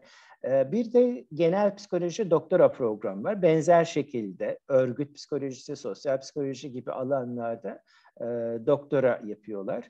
E, bir de iki sene önce aç, açılmış olan klinik psikoloji yüksek lisans programı var. Buna geçen sene ilk e, öğrenci grubunu aldık. E, bitirdiler. E, bitirdiler ve önümüzdeki dönem Eylül'de e, hastane stajlarına başlayacaklar. Bir de klinik psikoloji doktora programımız var ama ona henüz daha öğrenci almaya başlamadık. İlerideki dönemde olacak. E, benim diyeceklerim bu kadar sorularınız olursa lütfen e, ya chatten ya sesli olarak el kaldıraraktan sorabilirsiniz. Hepinize umuyorum hayallerinize kavuşursunuz, ulaşırsınız. İyi günler diliyorum.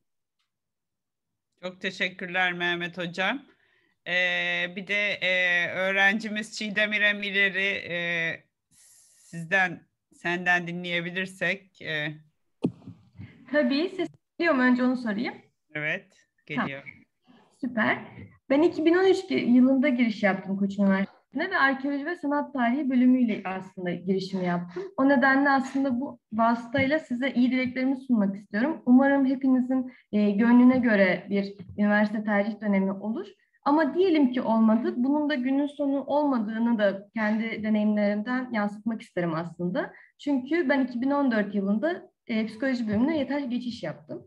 Ve bunun Koç Üniversitesi için güzel bir bana sunulan bir imkan olduğunu düşünüyorum. Çünkü bölümlere giriş yaptığınızda eğer hayalinizdeki bölüm bile olsa içine girdikten sonra deneyimlerinizin değişme ihtimali hatta e, iş hayatına başladıktan sonra bile aslında bu benim istediğim bölümmüş deme ihtimalinizin her zaman olduğunu düşünüyorum. O yüzden lütfen e, karamsar olmayın. Diyelim ki istediğiniz bölüme yerleşemediniz. Her zaman bir çıkış noktası vardır demek istiyorum. E, İlla Koç Üniversitesi olmasa bile bu geçerli. E, 2014 yılında dediğim gibi ben psikoloji bölümüne yatay geçiş yaptım. Burada da küçük bir parantez açmalıyım. E, arkeoloji, sanat tarihi, felsefe, tarih gibi temel bilim denen bölümlerde artık yatay geçiş bizim okulumuzda e, kaldırıldı. E, ama bu da bir hala bir e, çözümsüzlük ve bir e, karanlık bir olay değil. Çift anadal imkanımız mevcut. E, oradan yine kendi deneyimlerimi paylaşmak isterim. Medya ve görsel sanatlar bölümüyle çift anadal yaptım ben. Az önce Aykut Hoca ve Salih Ben İlçer sizinle paylaştı medya ve görsel sanatlar bölümünün detaylarını. E, ve bu araçlarla bütün yolculuğum boyunca aslında ben interdisipliner yani disiplinler arası çalışma ile ilgili çok fazla fikir sahibi olmuş oldum okulumuzdaki eğitimim boyunca. Diğer bölümlerden de felsefe, sosyoloji, işletme gibi bölümlerden bir sürü dersler aldım. Ve günün sonunda e, iki bölümümü de çok severek okudum. Hangisinden e, kariyer planıma devam etmek isterim sorusuyla sıkça karşı karşıya kaldım ve e, iki bölümü birleştirme imkanımın olduğunu gördüm. Birinden birini feda etmem gerekmediği gerçeğiyle karşılaştım ve ikisini nasıl birleştirebilirim üzerine e, üniversitedeki hocalarım sayesinde fikir alışverişi yapmış olduk. O yüzden e, şu an Koç Üniversitesi'nde doktora programına devam ediyorum. E, doktoradaki araştırma konularımdan size biraz bahsetmek istiyorum. E, lisansta çocuk gelişimi alanında, çocuk gelişim laboratuvarlarında oldukça staj yapma ve gönüllü e, çalışmalara dahil olma imkanım olmuştu. Eğer çocuğu bir e, hedef kitle, literatürde hatta persona diye geçer, bir persona olarak kabul ederseniz onun hayatına dokunmanın birkaç tane yolu olduğunu, e, günlük hayatına en çok etkileşime geçtiği alanları önce inceledik. Bunlar da nedir? Bir çocuk oyuncaklarla etkileşime girer, çocuk kitaplarıyla etkileşime girer ve çizgi filmlerle etkileşime girer. Biz de nasıl medya ürünleri, yani bu oyuncak, e, çocuk kitapları, çizgi filmler gibi ürünler çocukların gelişimine nasıl etki eder? Önce bu araştırma sorusu üzerine kafa yormaya başladık. Daha sonra da e, mümkünse nasıl pozitif etki yaratabiliriz? Bunun üzerine çalışmaya başladık. E, Aylin Hoca ve Aykut Hoca önderliğinde bir oyuncak tasarladık.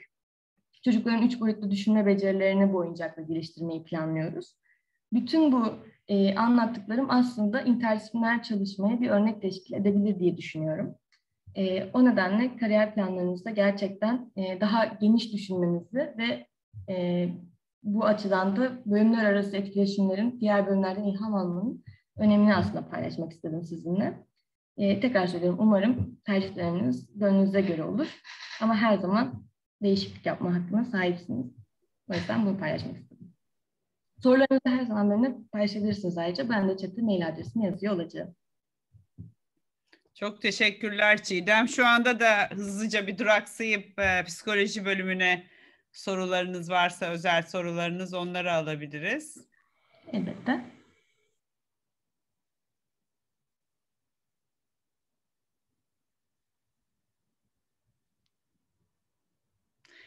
Psikoloji ve hukuk demin de söylemeye çalıştım biraz nadir yapılan e, bir e, çift anadal açıkçası. Çok ortak dersleri de yok. E, yani hukuk bölümünün çift anadal şartlarına bakarsanız bir takım dersleri almanız gerekiyor ve bir takım notlarla geçmeniz gerekiyor o dersleri. E, psikolojiden hukuka çift anadal yapan belki tek tük öğrencimiz vardır. Yani hukuk, sosyoloji falan daha mantıklı çift, çift anadallar açıkçası. Ya aslında tabii adli psikoloji falan da var. O kadar da değil ama açıkça söylemek gerekirse e, çok öğrenci yapmıyor. Bence bir vardı, bir hukuktan öğrenci vardı. Yurt dışına gitti zannediyorum. Benim 303 dersini, anormal psikoloji dersini alıyordu.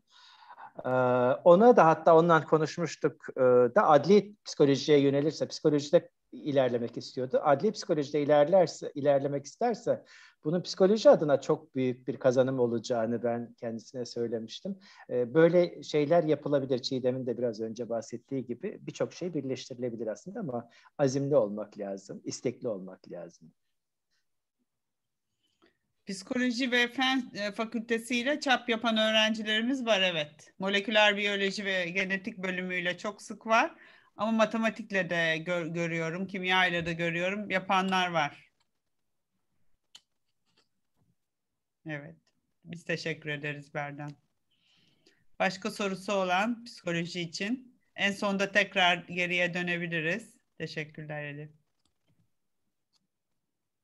Ayrıca e, Aykut Hoca'nın da bahsettiği tasarım ve medya yönetimi sertifika programlarını da tamamladım. Onu da paylaşmak istiyorum. Yani aslında e, çok fazla zenginleştirebileceğiniz alt dal mevcut. Hani onunla yapılır mı, bununla yapılır mı soruları yine Salih Berk'in de dediği gibi hayal gücünüze sınırlı. Siz ilgi alanlarınız doğrultusunda bunları şekillendirebilirsiniz aslında. E, ama okulun eğer prosedür gereği imkanlarını soruyorsanız evet bunların hepsi mümkün.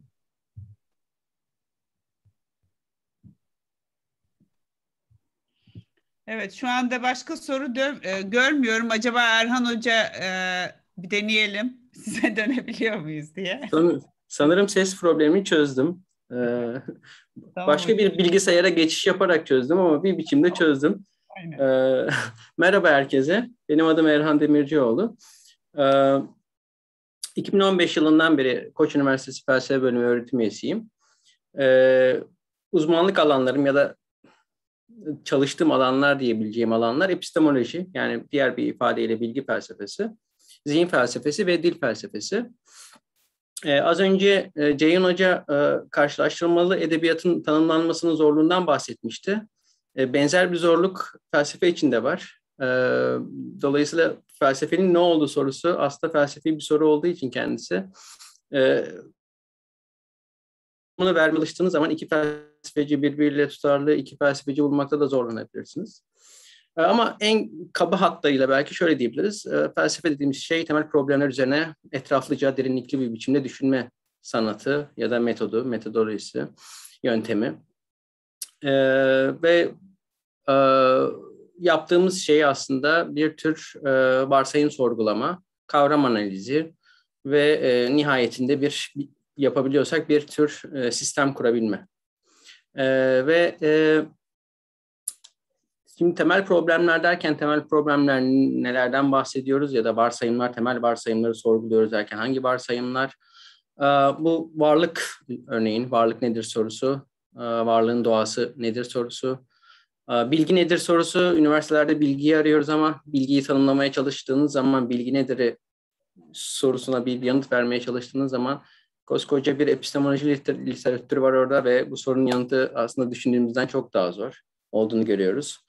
Zihin nedir? Psikolojiyle çok bağlantılı bir soru. Zihin nedir sorusu ikimizin ortak sorularından biri. Ee, bu soruyu yanıtlamak istediğiniz zaman özellikle zihin ve beden arasındaki ilişki üzerine düşünmeye başladığınız zaman felsefi bir alana girmiş oluyorsunuz. Mantık nedir? Doğru düşünme nedir?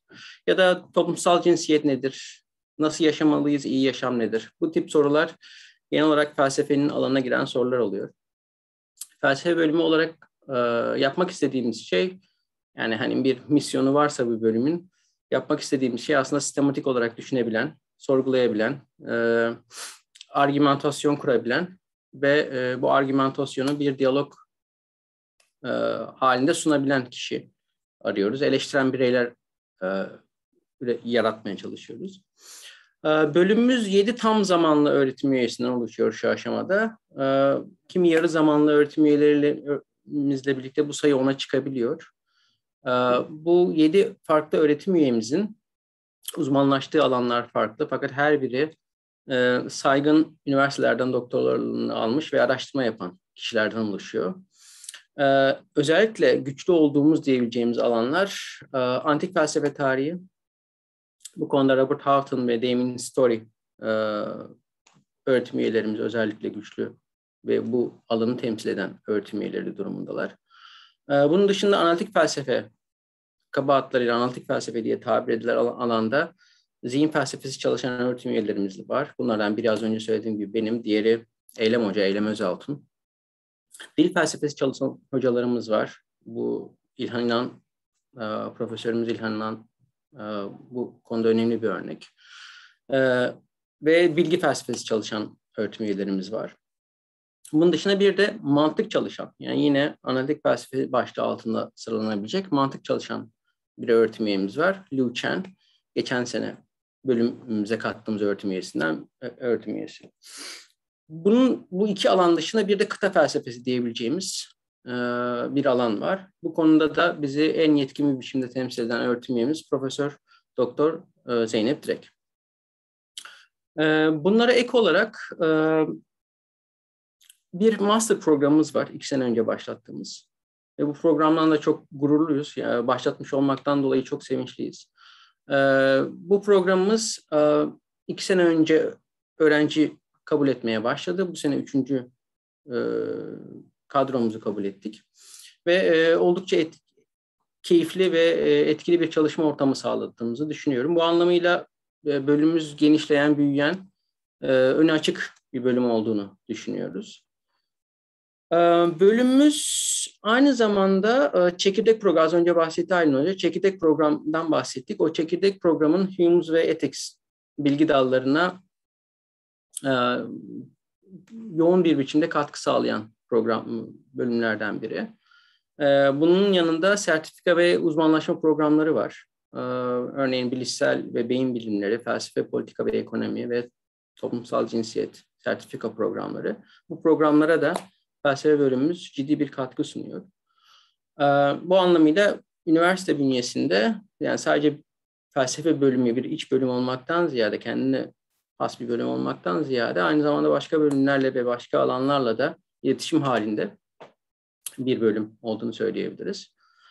Ee, belki vurgulanması gereken bir nokta az önce söyledim e, yani öğretim üyesi yayınımız yarım zamanlı işte kim zamanda 3'te yarı zamanlı öğretim üyesiyle desteklediğimiz toplam yaklaşık 9-10'a varan bir öğretim üyesi sayısına sahibiz. Aldığımız öğrenci sayısına bakarsanız yıllık kabul ettiğimiz öğrenci sayısına bakarsanız bu 8 tam zaman 8 e, tam burslu, 2 de yarı burslu öğrenci toplam 10 öğrenci kabul ediyoruz. Dolayısıyla birebir bir örtüşme var gibi görünüyor burada. Yani e, öğretim üyesi başına düşen öğrenci sayısı oldukça düşük. Bu da bunda şöyle bir avantajı oluyor tabii. Yani birebir yoğun bir e, etkileşim haline girme yani öğrenci ve öğretim üyesi arasında yoğun bir diyalog kurmanın imkanını sağlıyor böylesi bir oran. Bu açıdan da felsefe bölümümüz e, öğrencilere kendi çalışmak istedikleri alanlarda öğretim üyelerinin desteğiyle beraber bir yol haritası sunma görevinde e, layıkıyla yerine getirdiğini düşünüyorum o anlamıyla. E, bölümümüz hakkında e, şu anda söylemek istediklerim bunlardan ibaret. Erhan, çok teşekkürler e, Erhan e, sunumun için. E, bir de e, bir öğrencimiz katılıyor olacaktı. Şu Enver an... Ali Enver Ali vardı. Enver Ali Akova. E, şu anda Ha, evet merhaba. Ha, merhaba, merhaba Enver Ali. Teşekkürler, sağ olasın. Senden de kısaca bir dinleyebilirsek senin e, deneyimlerin nasıl? Tabii e, tabii. Ee, çok kısa isterseniz e, kendimi tanıtayım. Ben de ekonomi e, felsefe e, mezunuyum. Çift Anadal 2020'de. E, ve matematiksel ekonomide uzmanlaşmıştım. E, o, mezun olduktan sonra e, Ludwig Maximilian e, Üniversitesi'ne gittim Münih. E, mantık ve bilim felsefesi programına. E, ama e, oradan e, bu alanda devam etmek istemediğim için e, oradan ayrılıp şimdi edebiyat ve felsefe interdisipliner olarak çalışmak amacıyla tekrar başvurular yaptım şu anda. E, Koç Üniversitesi'nde felsefe okumakla ilgili e, yani lisans eğitimiyle ilgili bir birkaç e, noktadan bahsedeceğim. Belki bir tanesi yani önceden bahsedildi ama önemli bence çok. E, ya en önemlisi bu e, hem üniversitenin bu liberal arts e, tarzı eğitime yaklaşımı ve core programıyla e, yani hem, hem iş hayatı için e, kendinizi geliştirmek adına ama özellikle akademik olarak da akademik ilginizi keşfedebilmeniz için çok büyük bir imkan sağlıyor. Ben de şahsen o e, bu sebeple sosyal bilimlere kaydım. E, ve e, çok yani oldukça kolay bir şekilde çarp ve yan dal yapabiliyorsunuz. Yani bu gerçekten üniversitede çok büyük bir artı. Ve zaten sizi dediğim gibi bu teşvik ediyor Koç Üniversitesi bu konuda.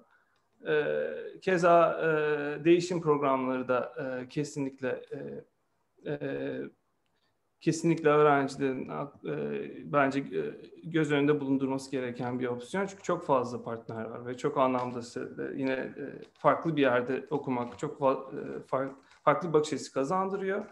E, felsefe bölümüyle ilgili e, e, özellikle zaten çok değerli bir e, kadro. E, yani hem sizi teşvik et, edici, ediyor e, devam etmeniz için bu bölümde. Ayrıca zaten çok e, başarılılar ama bölüm özelinde e, güncel ve antik felsefe açısından çok güçlü bir kadro ve bu geniş spektrum size e, güncel problemleri e, antik çağlarda, antik e, çağ felsefesinde ve tam tersi olarak bunlar arasında bir bağlantı, bir sürekli kurmanıza yardımcı oluyor. Bu çok büyük bir edinim bence e, ve bölümde önemli, yani bölüm e, özel olarak felsefe bölümünün çok e, önemli bir artısı. Bu anlamda benim yapamadığım ama çok önerdiğim bir şey kesinlikle eğer ilgileniyorsanız bu alanda da antik dillerden birini e, kaçı öğrenmenin çok büyük faydası olduğunu düşünüyorum. Çok iyi hocalar var e, bu alanda. E, kısacası söyleyeceğim şeyler bunlardı. Ama bir sorunuz olursa e, şimdi sorabilirsiniz ya da ben e-mailimi e, biraz sonra chat'e eklerim. Evet aynen çok teşekkürler Enver Ali ve Erhan Hocam ikinize de. Sorularınızı e, sorabilirsiniz. Çok güzel bilgiler geldi felsefe bölümünden. Sorularınızı sorabilirsiniz. Dediğimiz gibi başta da e, diğer bölümlerden de e, bayağı ders alacaksınız o 10 hocadan. Ve de gördüğünüz gibi aslında felsefe edebiyata kayan öğrencilerimiz de epey sayıda oluyor ekonomiden ya da mühendislikten e, olabiliyor bu e, bu dersler sayesinde diyelim.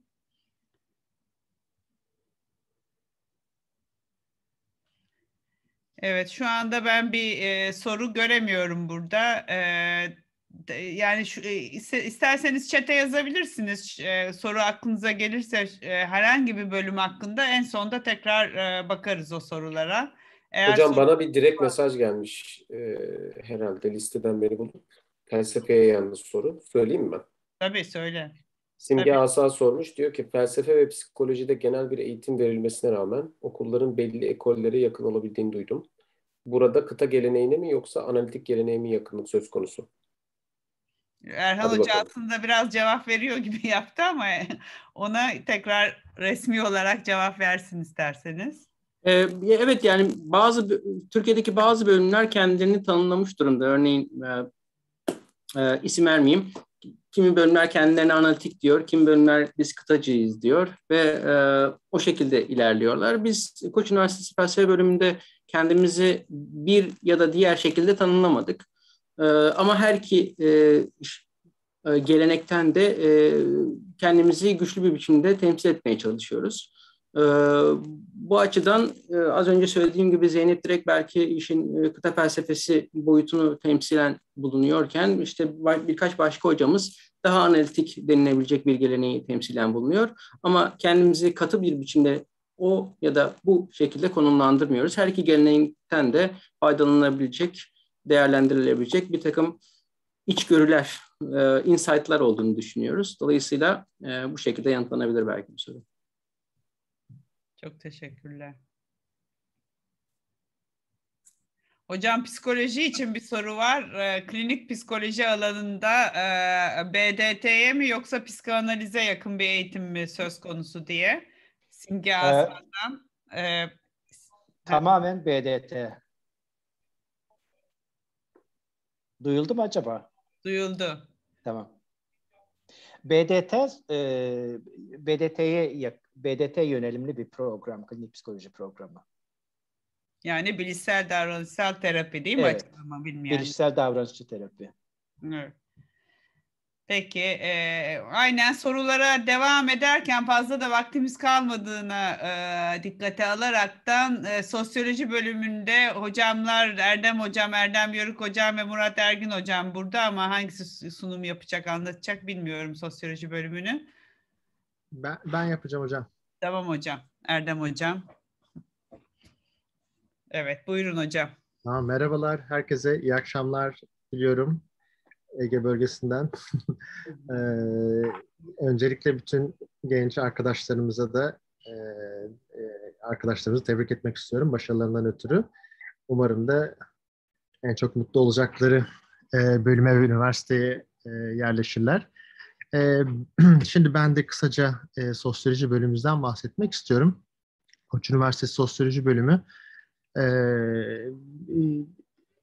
Türkiye'deki ve Avrupa'daki en kaliteli, en iyi araştırmaların, en iyi eğitimin verdiği departmanlardan birisi olarak ortaya çıkıyor. Ben şöyle bir istatistikle başlamak istiyorum. Biz sosyologlar biliyorsunuz seviyoruz istatistiği.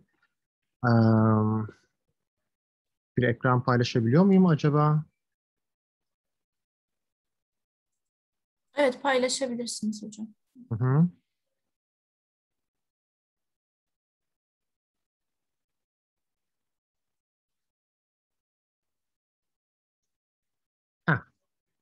E, bunu herhalde görüyorsunuz değil mi şu anda? E, bu şimdi YÖK'ün e, yapmış olduğu bir değerlendirmeye dair bir istatistik e, e, geçen sene yayınlanmıştı. Türkiye'deki bütün üniversiteleri ve bütün e, departmanları kendi aralarında e, kıyaslıyorlar performanslarına göre. E, ve de burada da yani çıkan yayınların kalitesi ve hacmine göre e, üniversiteler birbirleriyle karşılaştırılıyor. Burada da sosyoloji bölümünü bölümlerinin karşılaştırıldığı bir grafik. Gördüğünüz gibi sağ üst köşede bir outlier olarak Koç Sosyoloji bölümünü e, görebiliyoruz. Yani Türkiye'deki bütün sosyoloji bölümleri yani şu ortada dizilenler e, sonra ODTÜ, Boğaziçi tabii ki onlar çok kendilerini ayırıyorlar ama bunların hepsinin ötesinde Koç Sosyoloji bölümünü e, bir tek başına bir outlier olarak e, burada görebiliyoruz. Bu e, tabii ki önemli bir gösterge. Ben biraz e, bu durumun nasıl ortaya e, çıktığından bahsetmek istiyorum e, diğer bölümlerdeki hocalarım da anlattığı gibi e, Koç Üniversitesi Sosyoloji bölümü de e, sosyolojinin yani bu disiplinin birçok e, farklı alanından birçok farklı e, paradigmalardan, geleneklerden gelen e, hocaların olduğu ve dolayısıyla da çok geniş spektrumdan e, bir, bir sosyoloji eğitimini ve e, yani biliminin yapıldığı bir bölüm. E, neler var bizim bölümümüzde? Toplumsal hareketlerle ilgilenenler var. Gender yani e, toplumsal cinsiyetle ilgilenen insanlar var. E, göç üzerine çok e, kuvvetli bir bölüm burası. Eğitim üzerine, sınıfsal analiz üzerine, tarihsel sosyoloji e, üzerine e, kültür sosyolojisi üzerine gerçekten çok farklı alanlarda çalışan çok kıymetli hocaların olduğu bir yer. E, ama bütün hepimizi aslında ortaklaştıran şey de şu, e, biz çok e, ampirik olarak e, somut araştırma yapılan bir bölümüz. Yani e, bizi aslında Türkiye'deki diğer departmanlardan da, bölümlerden, sosyoloji bölümlerinden, Avrupa'daki bir sürü departmandan da ayırdı, ayır, yani e, ayrıştıran şey de bu. E, herkes e, yani teoriyle çok angaje bir şekilde e, yani toplumsal teoriye, sosyolojik teoriye çok ciddiye alıp buna katkıda sunulmaya çalışan e, bir e, yani yaklaşım sergilerken ama e, herkes aslında e, farklı farklı metodolojik yaklaşımlar uygulayıp e, somut, ampirik e, araştırmalar yapıyor. Yani e, bu tabii ki çok da fazla detaya girmek istemiyorum ama böyle ampirisizmin tuzağına düşmüş bir bölüm olduğunu da söylemek istemiyorum. Yani böyle bir pozitivist bir bölüm e, değil burası. Farklı farklı metodolojik e, spektrumun farklı noktalarından yani niteliksel analizler yapan, niceliksel analizler yapan, çok ağır istatistik kullanan veya tam e, e, artık bilimin geldiği son aşamadaki antropolojik, e, postmodern antropolojik metotları kullanan arkadaşlarımız var. E, işte e, yapay zeka, işte yeni computational social science deniyor. İşte hesaplamalı sosyal bilimler alanında e, çok önemli burada çalışmalar e, yapılıyor. Yani farklı farklı metodolojik yaklaşımları kullanan ama en nihayetinde ampirik, gerçek anlamda bilimsel çalışma yapan bir bölüm burası. Dolayısıyla da bu perspektifte e, bölümün hem e, ne derler e, yayın e, performansına hem de e, hocaların hepsinin e, gerçekleştirdiği bilimsel yayınların e, kalitesine de e, yansıyor. E, dolayısıyla da bizim bölümümüzde e, öğrenci olan arkadaşlarımız da e, her zaman için e, bu e, son derece güncel bilimsel zenginliğin aslında e, faydasını görüyorlar. Bir sürü öğrencimiz e, bir taraftan bilimsel çalışmalar, bilimsel araştırma projelerimize yer alıyor. Yani üniversite birinci sınıftan itibaren projelerde e, çalışan ve çok çok ciddi işler yapan e, öğrenci arkadaşlarımız var. Yani bir doktor öğrencisi kalitesinde işler yapan e, lisans öğrencilerimiz oluyor. Ama aynı zamanda da e, yani derslerde aslında yani bir hocanın anla, ders anlatırken ki e, performansı aslında onun yaptığı araştırmanın ne kadar güncel ve zengin olduğuyla da çok alakalı. Verdiği örnekler, e, literatürden e, e, literatüre yaptığı referanslar bunlar aslında hepsi e, araştırma ya araştırma ile ne kadar angaja olduğuyla çok e, ilişkili. E, ve de bu e, yani Koç Üniversitesi zaten çok bilimsel anlamda çok üretken bir yer. O anlamda biz de e, Sosyal Bilimler Fakültesindeki diğer bölümler gibi e, gerçekten çok üretken bir departmanız. Hani belki e, yani biliyorsunuzdur zaten ama e, Koç Üniversitesi zaten e, Türkiye e, klasmanında hani eminim bir sürü tanıtımda bu size söylenmiştir e, yani bilimsel anlamda Türkiye'deki en e, başarılı üniversite. Ama aynı zamanda da bizim sosyal bilimler fakültemizde Koç Üniversitesi'nin en başarılı e, fakültelerinden bir tanesi. E, dolayısıyla da e, yani sosyoloji öğrenmek, e, akademisyen olarak e, sosyolojiye devam etmek veyahut da e, yani bir corporate hayatta sosyolojinin verdiği e, hayal gücünü kullanıp gerçekten e, yaratıcı işler yapmak istiyorsanız gerçek anlamda sosyoloji öğrenmek ve sosyoloji yapmak istiyorsanız burası e, son derece ideal bir e, bölüm. E, hani e, somut olarak ben belki e, kendi araştırmalarımdan bir iki dakika bahsederek e, size daha fazla e, yani bir fikir verebilirim. E, yani biraz önce bahsettiğim bu e, computational social science meselesi yani hesaplamalı sosyal bilimler e, alanında hem bizim bölümde e, hem tarih bölümünde hem edebiyat bölümünde e, ve diğer bölümlerde medya bölümünde zaten e, çalışan bir sürü arkadaşımız var ve yeni bir hesaplamalı sosyal bilimler yüksek lisans programı açtık mesela bu sene. Bu da gerçekten dünyadaki ve Avrupa'daki zaten öncül bölümlerden, yüksek lisans programlarından bir tanesi oldu. E, ayrıca yani bir parantezi daha e, açmak gerekirse e, sosyoloji bölümü aynı zamanda yüksek lisans e, kademesinde de çok e, e, geniş e, bir performansa sahip bir bölüm. E, doktora programımız var. Bu çok önemli bir şey. Türkiye'de sos, e, doktora programına sahip e, birkaç sosyoloji bölümünden bir tanesiyiz. Tarih bölümüyle ortak e, bir e, sosyoloji tarih e, yüksek lisans programımız. Bir de yeni açtığımız bu hesaplamalı sosyal bilimler yüksek lisans programımız var. Tabii ki bu e, bu yeni programda e, Sosyal Bilimler Fakültesindeki diğer bölümlerle e, e, ortaklaşa kurduğumuz bir bölüm. Bunlar tabii ki hepsi çok zenginleştiriyor. Lisans eğitimi de çok zenginleştiriyor. E, e, ve işte benim çalışmalarımda mesela bunlarla çok alakalı. Yani Avrupa e, Komisyonu'ndan al, e, aldığımız bir birkaç tane proje e, üzerinden e, biz tam bu yapay zeka, e, makine öğrenmesi, doğal dil işleme gibi çeşitli yöntemleri kullanıp buradaki kendi asistanlarımızla, lisans öğrencilerimizle, yüksek lisans öğrencilerimizle beraber toplumu anlamaya çalışıyoruz. Mesela e, toplumsal hareketler çok önemli bir e, bir, bir, bir, bir şey e, sosyolojide tahmin edersiniz. E, ama nerede, ne kadar, kaç tane, ne tipte toplumsal hareket veya protesto gerçekleşiyor bu büyük bir muamma e, yıllardır. Biz şimdi e, bu bilgiyi e, gazete arşivlerinden, online arşivlerden otomatik olarak çıkartan bir e, yapay zeka e, sistemi inşa ettik mesela. Benzer bir şekilde şimdi mesela anketlerle seçimler tahmin edilmeye çalışılıyor ve bir sürü zamanda hani anketler aslında seçim yani bunda çok başarısız oluyor yani. Trump seçiminden de, Brexit'ten de veya Türkiye'deki bir sürü durumdan da gördüğümüz gibi anketler aslında bir bilgi, enformasyondan daha çok misinformation, dezenformasyon sağlıyor. E şimdi mesela böyle bir şey üzerine uğraşıyoruz. Yapay zekayı kullanıp ve sosyal medyadan gelen büyük veriyi kullanıp biz seçimleri tahmin edebilir miyiz? Ve bunu gerçek anketlerden de daha iyi tahmin edebilir miyiz? Bunun üzerine uğraşıyoruz. Dolayısıyla bunlar gerçekten e, e, yani dünyada da e, hani ileride e, sosyolojinin nasıl yapılacağına dair doneler içeriyor. Yani anket bizim için çok kritik bir şey tabii ki. Ama ben zannetmiyorum ki 20 yıl sonra gerçekten e, siyaseti ve toplumu anlamak için gerçekten anketler yapılsın. Büyük bir ihtimalle e, yapay zeka bu alanı da domine edecek ve e, yani bu konuda mesela e, yani sadece yani zaten Türkiye'deki ilk ama dünyadaki öncü çalışmalardan bir tanesi de burada gerçekleşiyor.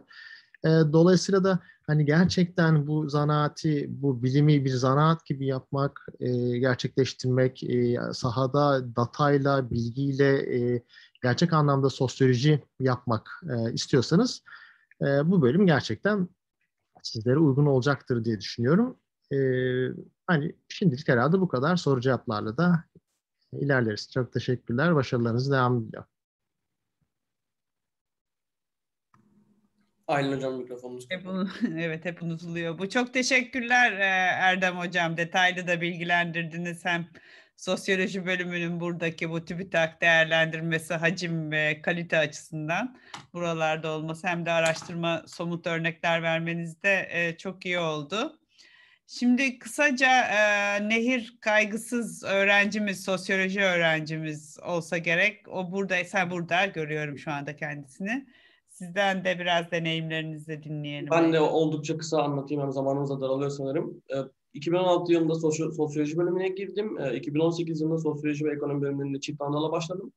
Bu süreçte hem özel şirketlerde çalıştım hem de hesaplamaları sosyal bilimler laboratuvarında çalıştım. Şu an bir özel şirkette araştırma analisti olarak çalışıyorum. Şu ana kadar söylenen kısımları ekleyebileceğim ve farklı bir görüş getirebileceğini düşündüğüm nokta hani sosyoloji özelinde de sanıyorum ki diğer bölümler üzerinde hep interdisipliner olmaktan bahsettik ama birçok yani sosyolojide özellikle şeyi çok görüyorum. Hani siz sosyolojide hangi kısmı yapmak istiyorsanız o tarafa çok yönelebiliyorsunuz. Erdem Hoca da bahsetti zaten. Çok araştırma ağırlıklı bir bölüm olmasının yanında yani ben mesela sosyoloji ile ekonominin çok e, yakın işler yaptığı kısımlara yöneldim hep. O yüzden mesela işte hesaplamalı sosyal bilimler kısmı ekonomiye çok daha yakın bir taraf. Mesela şu anda e, işte çalıştığım özel şirket için yaptığım şeyler de bununla ilgili. Ee, bu konuda bana bir sorunuz olursa sosyal medya hesaplarımdan veya mailimden bana ulaşabilirsiniz. Teşekkür ediyorum. Evet çok teşekkürler e, Nehir. E, sosyoloji bölümü öğrencileri de psikolojiyle, uluslararası ilişkilerle, bazen işletmeyle e, çok çift anadal yapıyorlar ama kendisi de hakikaten e, çok kuvvetli bir bölüm Erdem Hoca'nın e, de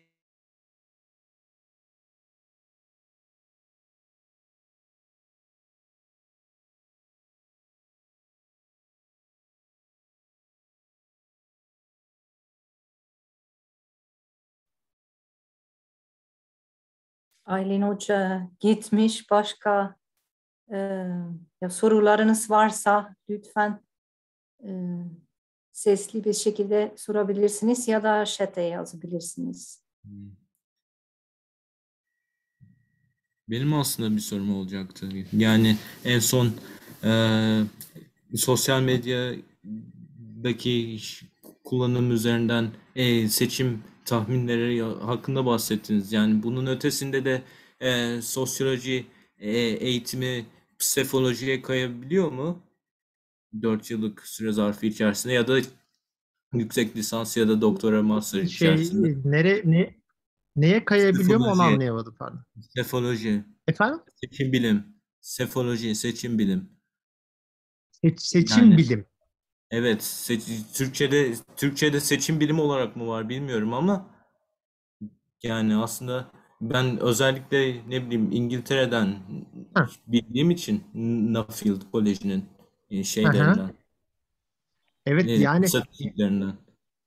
yani, Yani e, sosyolojide e, tıpkı o yani tarihle e, el ele kol kola sefolojiye e, uzmanlaşma imkanım ne kadar var onu merak etmiştim sadece. Yani bayağı var. Mesela ben ciddi olarak ilgileniyorum. Yani seçimlerin sebepleri, sonuçları. Tabii ki e, Türkiye'de e, ve Amerika'da da biraz öyledir. Siyaset bilimciler daha çok ilgilenir seçim olayıyla. Hani doğası gereği. Tabii ki. E, ama e, hani bizde siyaset sosyolojisi diye bir şey var. E, o da hani siyaset bilimiyle sosyolojinin arasında gibi bir şey. Yani bu da siyasi süreçlerin aslında toplumsal sebeplerini inceleyen bir şey oluyor. Yani Evet. yani bir oy dağılımı, oy davranışının misal toplumsal sınıfla, gelirle veya işte toplumsal Veya cins- kampanya taktikleri. Ha, aynen. Dolayısıyla tabii ki yani eee, bu yani yok e, aynı yüzde yüz e, bu konuyla ilerleyebilirsin yani. Şöyle ki uluslararası ilişkilerde de çalışılıyor bu alan ama ben olsam kesinlikle sosyolojiye girerim. Çünkü daha küçük öğrenci sayısı ve ilgi daha fazla. Tabii istersem or- orayla da çift ana dal yaparım. Oradan da ders alırım. Yani e, birçok Aslında tarih düşünüyorum ama o da olur. yani O da olur. O da o da aynı. Kesinlikle bir imkan dahilinde olduğu için hı. sosyoloji düşünüyorum. Teşekkürler. Sefoloji terimini de ilk defa öğrendik burada Vallahi ben de öyle. Ama var yani. Güzel oldu. Çok teşekkürler Toprak. Ben teşekkür ederim. Teşekkürler. Başka e, sorusu ben bir ara koptum bir şekilde Zoom'dan. E, bir dakika. Evet şu anda e, soru olmayabilir. E, son sunum olarak da tarih bölümüne geçmek isteriz biz. Zaten tarihle ilgileniyordu deminki öğrencimiz. Yonca Köksal hocamız burada. Çok teşekkürler Yonca. Olur. Evet, merhabalar. Ekranı paylaşayım sizinle. Evet. Evet. Merhabalar, benim ismim Yonca Köksal. Tarih bölümü öğretim üyesiyim. Ee, geç e, dönem Osmanlı tarihi üzerine çalışıyorum. Ee, yani çok vaktimiz kalmadı zaten. En sona kaldı sunumumuz. Ee, e, size genel olarak tarih bölümünde neyi hedefliyoruz, e, ne gibi dersler, ne gibi imkanlar var onlardan bahsetmek istiyorum. E, Şimdi öncelikle bizim ana hedefimiz e, öğrencilerimizin dünyayı ve tarihi daha iyi anlamasını sağlamak. Bu çok genel gözükebilir e, ama çok önemli bir hedef. E, ve buna ulaşmak için de tarih disiplini hakkında geniş bir bilgi ve perspektif kazandırmayı amaçlıyoruz. Bu sebeple de tarih metodu ve tarih yazımı üzerine e, yoğunlaşan örneğin historiografya derslerimiz var. E, buna ek olarak da e, e, farklı dönemler ve farklı coğrafyaların tarihi üzerine çok çeşitli dersler önermekteyiz. Bu derslerde hem ikincil kaynakları, literatürü okuyarak analitik ve eleştirel bir perspektif geliştirmenizi amaçlıyoruz. Aynı zamanda da birincil kaynaklara yani yazılı ve görsel arşiv malzemesine yoğunlaşıyoruz. Sağ köşede örneklerini göreceksiniz. Arşiv malzemesi sadece devlet arşivlerindeki dokümanlardan oluşmuyor. E, bir fabrika fotoğrafı da bize çok farklı şeyler anlatabilir. E, fabrikadaki hiyerarşik ilişkiler, e, veya toplumsal cinsiyet ilişkileri üzerine çok farklı şeyler söyleyebilirsiniz. Aynı şekilde e, Osmanlıca bir mektup, e, bir belge görüyorsunuz. Devlet arşivinlerimiz var. Bunlar farklı dillerdeki arşivler olabilir, mektuplar olabilir, gazeteler olabilir, farklı devletlerin arşivleri olabilir. E, dolayısıyla bu birincil ve ikincil kaynakları bir araya getirerek analitik ve eleştirel bir perspektif bizim buradaki amacımız. Aynı şekilde tarihi dinamik bir süreç olarak görmenizi teşvik ediyoruz. Bu ne demek? E, bu şu demek, yani tarihi tepeden inmeci, e, devlet adamlarının, imparatorların ya da padişahların yaptığı bir tarih olarak görmüyoruz. Tam tersine e, devlet aktörlerinin farklı sosyal aktör e, e, Ayan örneğin Osmanlı Devleti'nde değil mi? E, girdiği iletişimler, ilişkiler üzerinden ilerleyen, dönüşen e, devleti ve toplumu bir arada anlayan bir tarih anlayışı olarak görüyoruz. Tabii bütün bunlara ek olarak da öğrencilerimizin kendilerini sözlü ve yazılı olarak etkili bir şekilde ifade etmelerini hedefliyoruz ki zaten çok okuyorsunuz tarih bölümünde. Çok okuyorsunuz. E, bir e, e, sürü ödev e, yazıyorsunuz örneğin. E, dolayısıyla kendinizi sözlü ve yazılı olarak e, ifade etmenizi amaçlıyoruz. E, bölümümüzde 10 tane öğretim üyemiz var. Bu 10 öğretim üyesi farklı dönemler ve farklı bölgeleri çalışıyorlar. E, ama modern tarih. Buna biz Türkçe'de yeni çağ ve yakın çağ tarihi de diyoruz. Ee, üzerine dönemsel olarak yoğunlaşmaktayız tarih bölümünde. Yani 16-17. yüzyıldan başlayarak günümüze kadar olan dönemdeki e, farklı coğrafyaların tarihini e, çalışıyoruz. E, bölümümüzdeki öğretim üyelerinin uzmanlık alanlarına bağlı olarak. E, nedir bunlar? Osmanlı tarihi ve Türkiye Cumhuriyeti tarihi tabii ki. E, Orta Doğu tarihi, Rusya ve Sovyet tarihi, Akdeniz tarihi e, ve Balkan tarihi. Bunlar e, özellikle bölümümüzde verilen e, farklı coğrafyaların tarihlerine ilişkin e, ders konuları diyebilirim. E, bu coğrafi dağılım olarak bir de konu olarak da farklılaşabiliyor derslerimiz. E, siyasi tarih üzerine derslerimiz var. Yani e, çalıştığımız dersler var. Sosyal tarih, kültür tarihi, iktisat tarihi, e, toplumsal cinsiyet e, çalışmaları, işçi tarihi ya da kent tarihi üzerine de e, farklı farklı dersler alabilme imkanlarımız var. Şimdi tarih bölümünde okumanın size ne gibi olanaklar sağladığından da biraz bahsetmek istiyorum. Ee, öncelikle e, burada yazmadım ama e, lisansüstü programlarımızın olduğunu belirteyim hemen. Biraz önce Erdem Hoca da söyledi. Sosyoloji bölümüyle ortak yürüttüğümüz karşılaştırmalı tarih ve toplum çalışmaları yüksek lisans programımız var. Ayrıca tarih bölümünün kendine ait e, lisans öğrencisi olduğunuz zaman edineceğiniz imkanlarsa şöyle. ikinci bir yabancı dil öğrenmenizi biz teşvik ediyoruz. E, bizim programımızda e, bölüm öğrencileri e, İngilizce haricinde ikinci bir yabancı dilin ilk iki kurunu mutlaka tamamlamak zorundalar. E, bu dil herhangi bir dil olabilir okulumuzda önerilen. Osmanlıca, eski Yunanca, Latin Latince, Arapça veya Avrupa dillerinden biri, Almanca, Fransızca, İtalyanca, İspanyolca, Rusça e, herhangi bir dil dersini alıp bunun iki kurunu tamamlamanız bölüm gerekliliği. Buna ek olarak tarih bölümünün e, sosyoloji, uluslararası ilişkiler, arkeoloji ve sanat tarihi bölümleriyle özellikle eş kodlu birçok dersi var. E, bu da sizin çift ana dal yapmanızı çok kolaylaştıran bir durum. Eş kodlu ders şu demek. Tarih bölümünde verilen bir e, dersi alıyorsunuz. Bu ders aynı zamanda örneğin e, sosyoloji bölümünde de e, tanınan bir ders. Dolayısıyla bir ders aldığınızda her iki bölümünde e, yükümlülüklerini yerine getirmiş oluyorsunuz. Daha az ders alarak e, çift ana dal yükümlülüklerini tamamlama imkanınız ortaya çıkıyor. E, zaten bu saydığım bölümlerde tarih öğrencilerin en çok çift ana dal yaptığı bölümler. Ayrıca zaten çok bahsedildi, üstünde durmayayım zamanımız da sertifika programlarımız var. E, tarih bölümünden birçok dersin olduğu e, ve tarih öğrencilerine sıklıkla aldığı, sert, devam ettiği sertifika programları, Akdeniz çalışmaları, Avrupa çalışmaları, Asya, Avrasya çalışmaları ve toplumsal cinsiyet çalışmaları ama bunun haricindeki diğer programları da sertifika programlarını da tamamlayabilirsiniz e, rahatlıkla. E, bunun haricinde üniversitemiz bünyesindeki araştırma merkezlerinin bir kısmıyla e, yakın çalışma imkanlarımız var. E, Beyoğlu'ndaki Anadolu Araştırmaları Merkezi, Antalya'daki Subeynen Kıraç Akdeniz Medeniyetleri Araştırma Merkezi ve Ankara'daki Vehbi Koç Ankara Araştırmaları Merkezi ile yakın ilişkilerimiz var. Buradaki seminerlere, konferanslara, çalıştaylara devam edebilirsiniz veya burada yapılan yaz okullarında dil okulu olsun, başka bir takım uzmanlaşma programlarında verilen yaz okulları olsun, onlara de devam etme olanağınız da var. Ee, son olarak biraz kariyer imkanlarından bahsetmek istiyorum. Ee, mezunlarımızın önemli bir kısmı akademik kariyerlerine devam ediyor. Ee, çok sayıda öğrencimiz Avrupa, Amerika ve Türkiye'deki lisansüstü programlarına devam etmekte.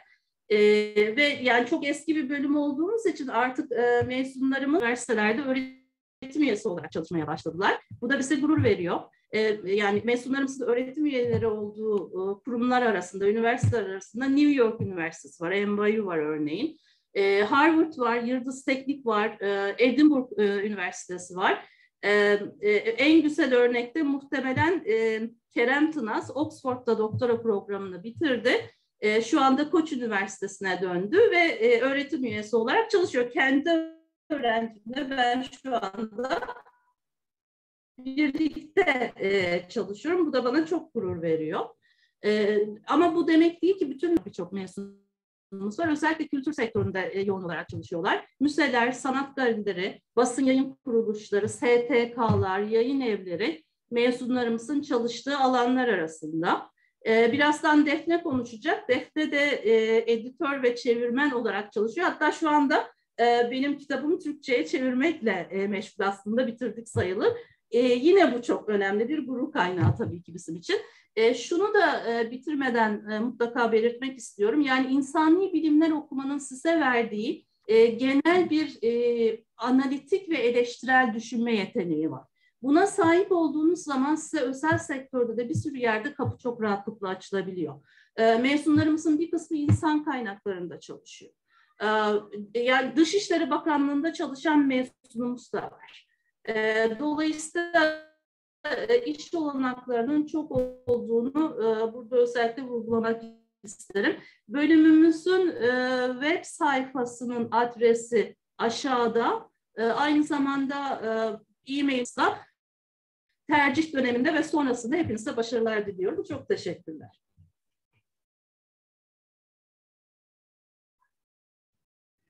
Çok teşekkürler Yonca Hocam. Hakikaten çok güzel, e, bilgilendirici bir sunumdu. E, hak, hakikaten e, çok doğru bu analitik ve eleştirel düşünce becerisini kazandırdığımızı biliyorlar, işe alacaklar ve çok çeşitli yerlerde iş buluyor bizim mezunlarımız. E, o, o da e, çok gurur verici gerçekten.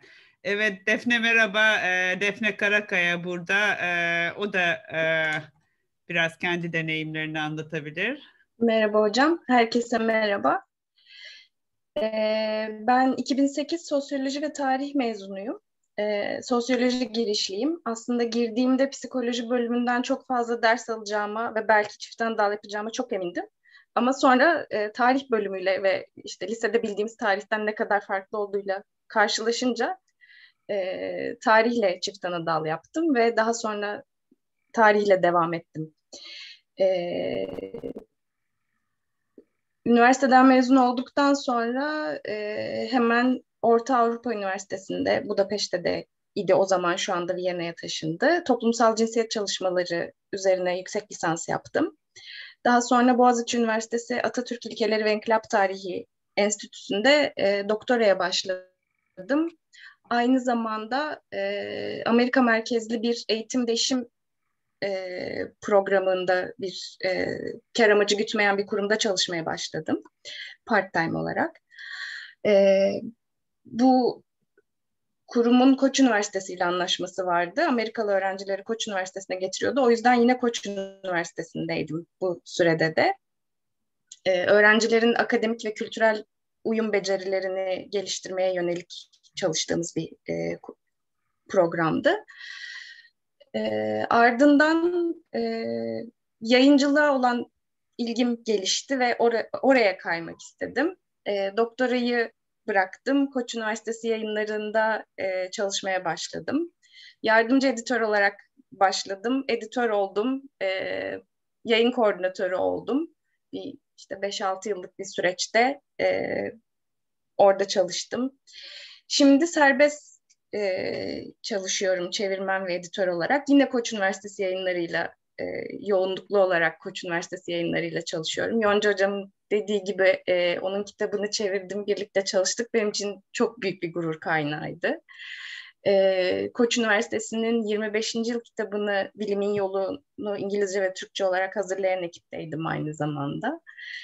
E, bu tabii şeyi de gösteriyor yani üniversiteyle bağınız siz sürdürmek istediğiniz sürece devam ediyor ve e, yani hocalar e, çok açık bu konuda. Hocalarımız her zaman bana çok dedi sonrasında da. E, işim itibariyle ben edindiğim akademik bilgiyi birebir kullanıyorum sürekli olarak kullanıyorum ama çalışma hayatımda öğrendiğim bir şey var ki o da e, üniversite bize bilgiye ulaşmayı, e, bilgiyi işlemeyi, analitik düşünmeyi, doğru soru sormayı e, öğretmiş ve bu yani hangi bölümde okursanız okuyun e, daha sonraki yaşamınızda sizin için pek çok sorunu çözüyor aslında. Ne yapacağınızla ilgili, kariyerinizle ilgili pek çok şeyde e, sizi öne geçir, geçiriyor. Tabii e, üniversitedeyken e, küçük bir bölüm olmanın yani öğrenci sayısının az olmasının çok fazla faydasını gördük. Çok birebir e, hocalarla iletişimimiz vardı. İşte sosyoloji bölümünde araştırma asistanlığı yaptım. E, hocalar bizi çok yakından tanıdığı için çok güzel yönlendiriyorlardı. E, tabii bunlar çok çok önemli avantajları e, böyle bir üniversitede, böyle bir bölümde okumanın. Umarım aday öğrenciler de isteyenler bunu e, yaşama fırsatı bulur diyorum. Bir soru yoksa çok e, uzatmadan böyle bitireyim ben de. Çok teşekkürler Defne. Hala da bence hocalar ve üniversite güzel yönlendiriyor öğrencileri. Ee, tabii tabii. bölümlerde bazı bölümlerimiz biraz daha büyük ama dediğimiz gibi onlar da çeşitli araştırmalara katılarak kendileri de yönlenecek fırsatları buluyorlar. Hocalar danışman sistemi var. Neyse fazla uzatmayalım. Zaten herkes katıldı birçok sunuma. Çok teşekkürler Defne. Senin de hem sosyoloji ben hem tarihi hem de Koç Üniversitesi yayınlarıyla ilintili verdiğin bilgiler için. Şimdi zaten vakit 9-10 geçiyor ama yani olabilir. Ee, sorularınız varsa burada cevap vermeye çalışalım bütün hocalar olarak. Yani tanıtımlara devam edeceğiz ama daha çok dekan ve dekan yardımcıları olarak devam edeceğiz. Burada hocaları bulmuşken bir en azından 5-10 dakika e, eğer yani e, fırsatımız olursa ve sorularınız olursa devam edebiliriz burada.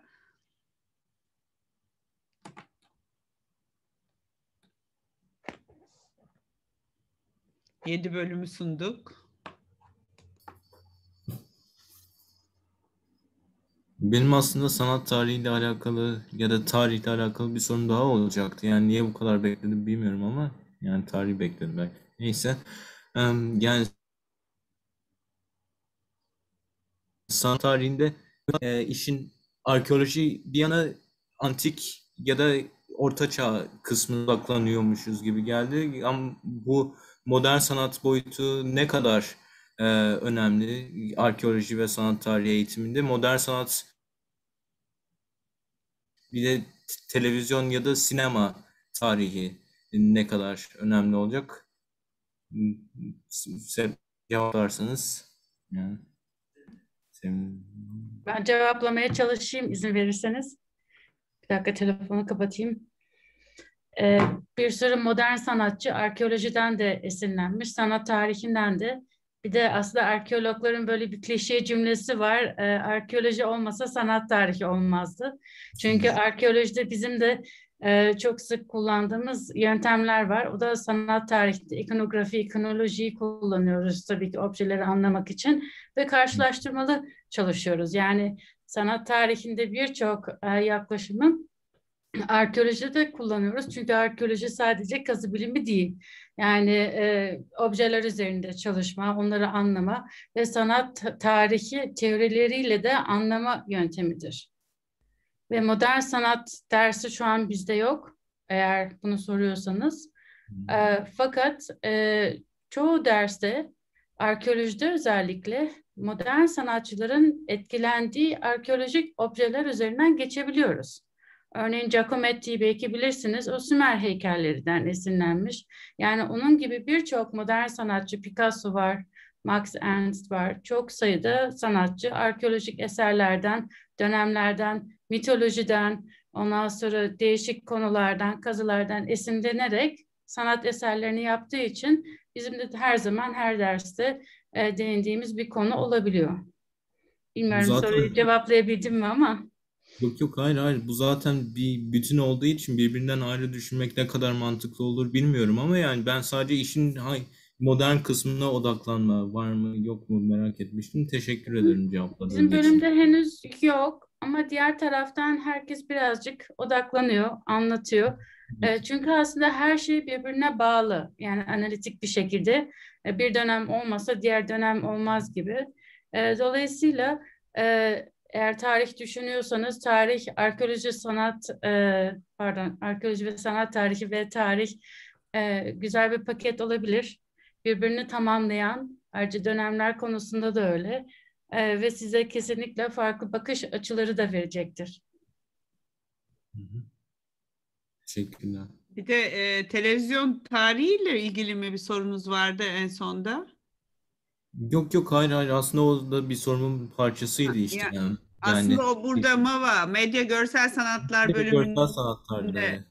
e, Nazlı Özkan hocamız var, yeni katılmıştı. O da bizim e, yüksek lisans mezunumuz, sos, sosyoloji tarih programından demin bahsedilen. E, ama burada Medya Görsel Sanatlar'da onun yeni bir projesi var o konuda.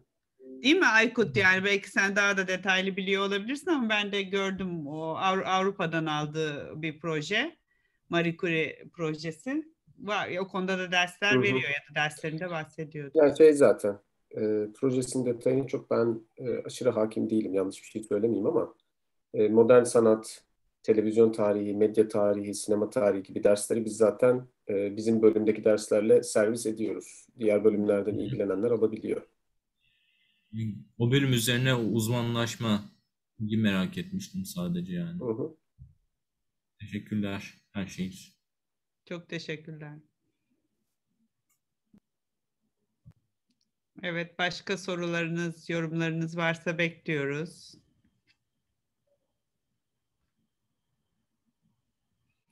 Evet, zannediyorum pazar akşamı bayağı geç bir saate doğru ilerliyoruz. E, herkese katılımları için çok teşekkürler. Tercihlerinizde inşallah en iyisi olur. E, istediğiniz bölümler olur. Dediğimiz gibi anlatmaya çalıştığımız gibi burada bayağı bir esneklik de olduğu için e, belki ilerisi için de bakalım e, diyerek de gelebilirsiniz e, fakültemize. Herkese çok teşekkürler katılımı için. Hocalarım, öğrencilerimiz, eski öğrencilerimiz sizlere de çok çok teşekkürler vakit ayırıp burada katıldığınız için. E, evet Yonca Hoca da burada eklemiş chatten. Doğru Tarık Amar da Sovyet tarihi, Rus, Rusya tarihi ve Sovyet sinema tarihi üzerine de uzman. Tabii film ve sinema üzerine e, uzman e, birçok hocamız da var burada aslında. Medya bölümünde de, tarih bölümünde de çalışan. Zannediyorum Kerem Hoca da demin bahsedilen e, sinema üzerine evet. dersler verebiliyor. Core dersler hatta, çekirdek dersler. Evet, daha çok bilgi istiyorsanız küçücük gruplarımız oluyor her gün iki buçuk, üç buçuk arasında ya da iki, üç buçuk mu olacak bundan sonra tam olarak bilmiyorum. O aralarda e, biz ben buradayım, İnge Hoca e, oluyor ve genelde Lemi Hoca şu anda yok burada medya ve görsel sanatlardan. E, gerekirse tabii ki e, diğer bölüm hocalarıyla da e, görüştürebiliriz sizleri. E, çok çok teşekkürler. Teşekkür mesajlarınız için de çok çok e, teşekkür ediyoruz. E, hepinize iyi akşamlar, iyi haftalar diliyorum. Güzel bir tercih dönemi son haftaya girdik derken bir hafta uzatmamız var. Ama bence artık e, karar verecek duruma gelmiş olanlarınız vardır. E, iyi şanslar, iyi akşamlar. Görüşmek üzere.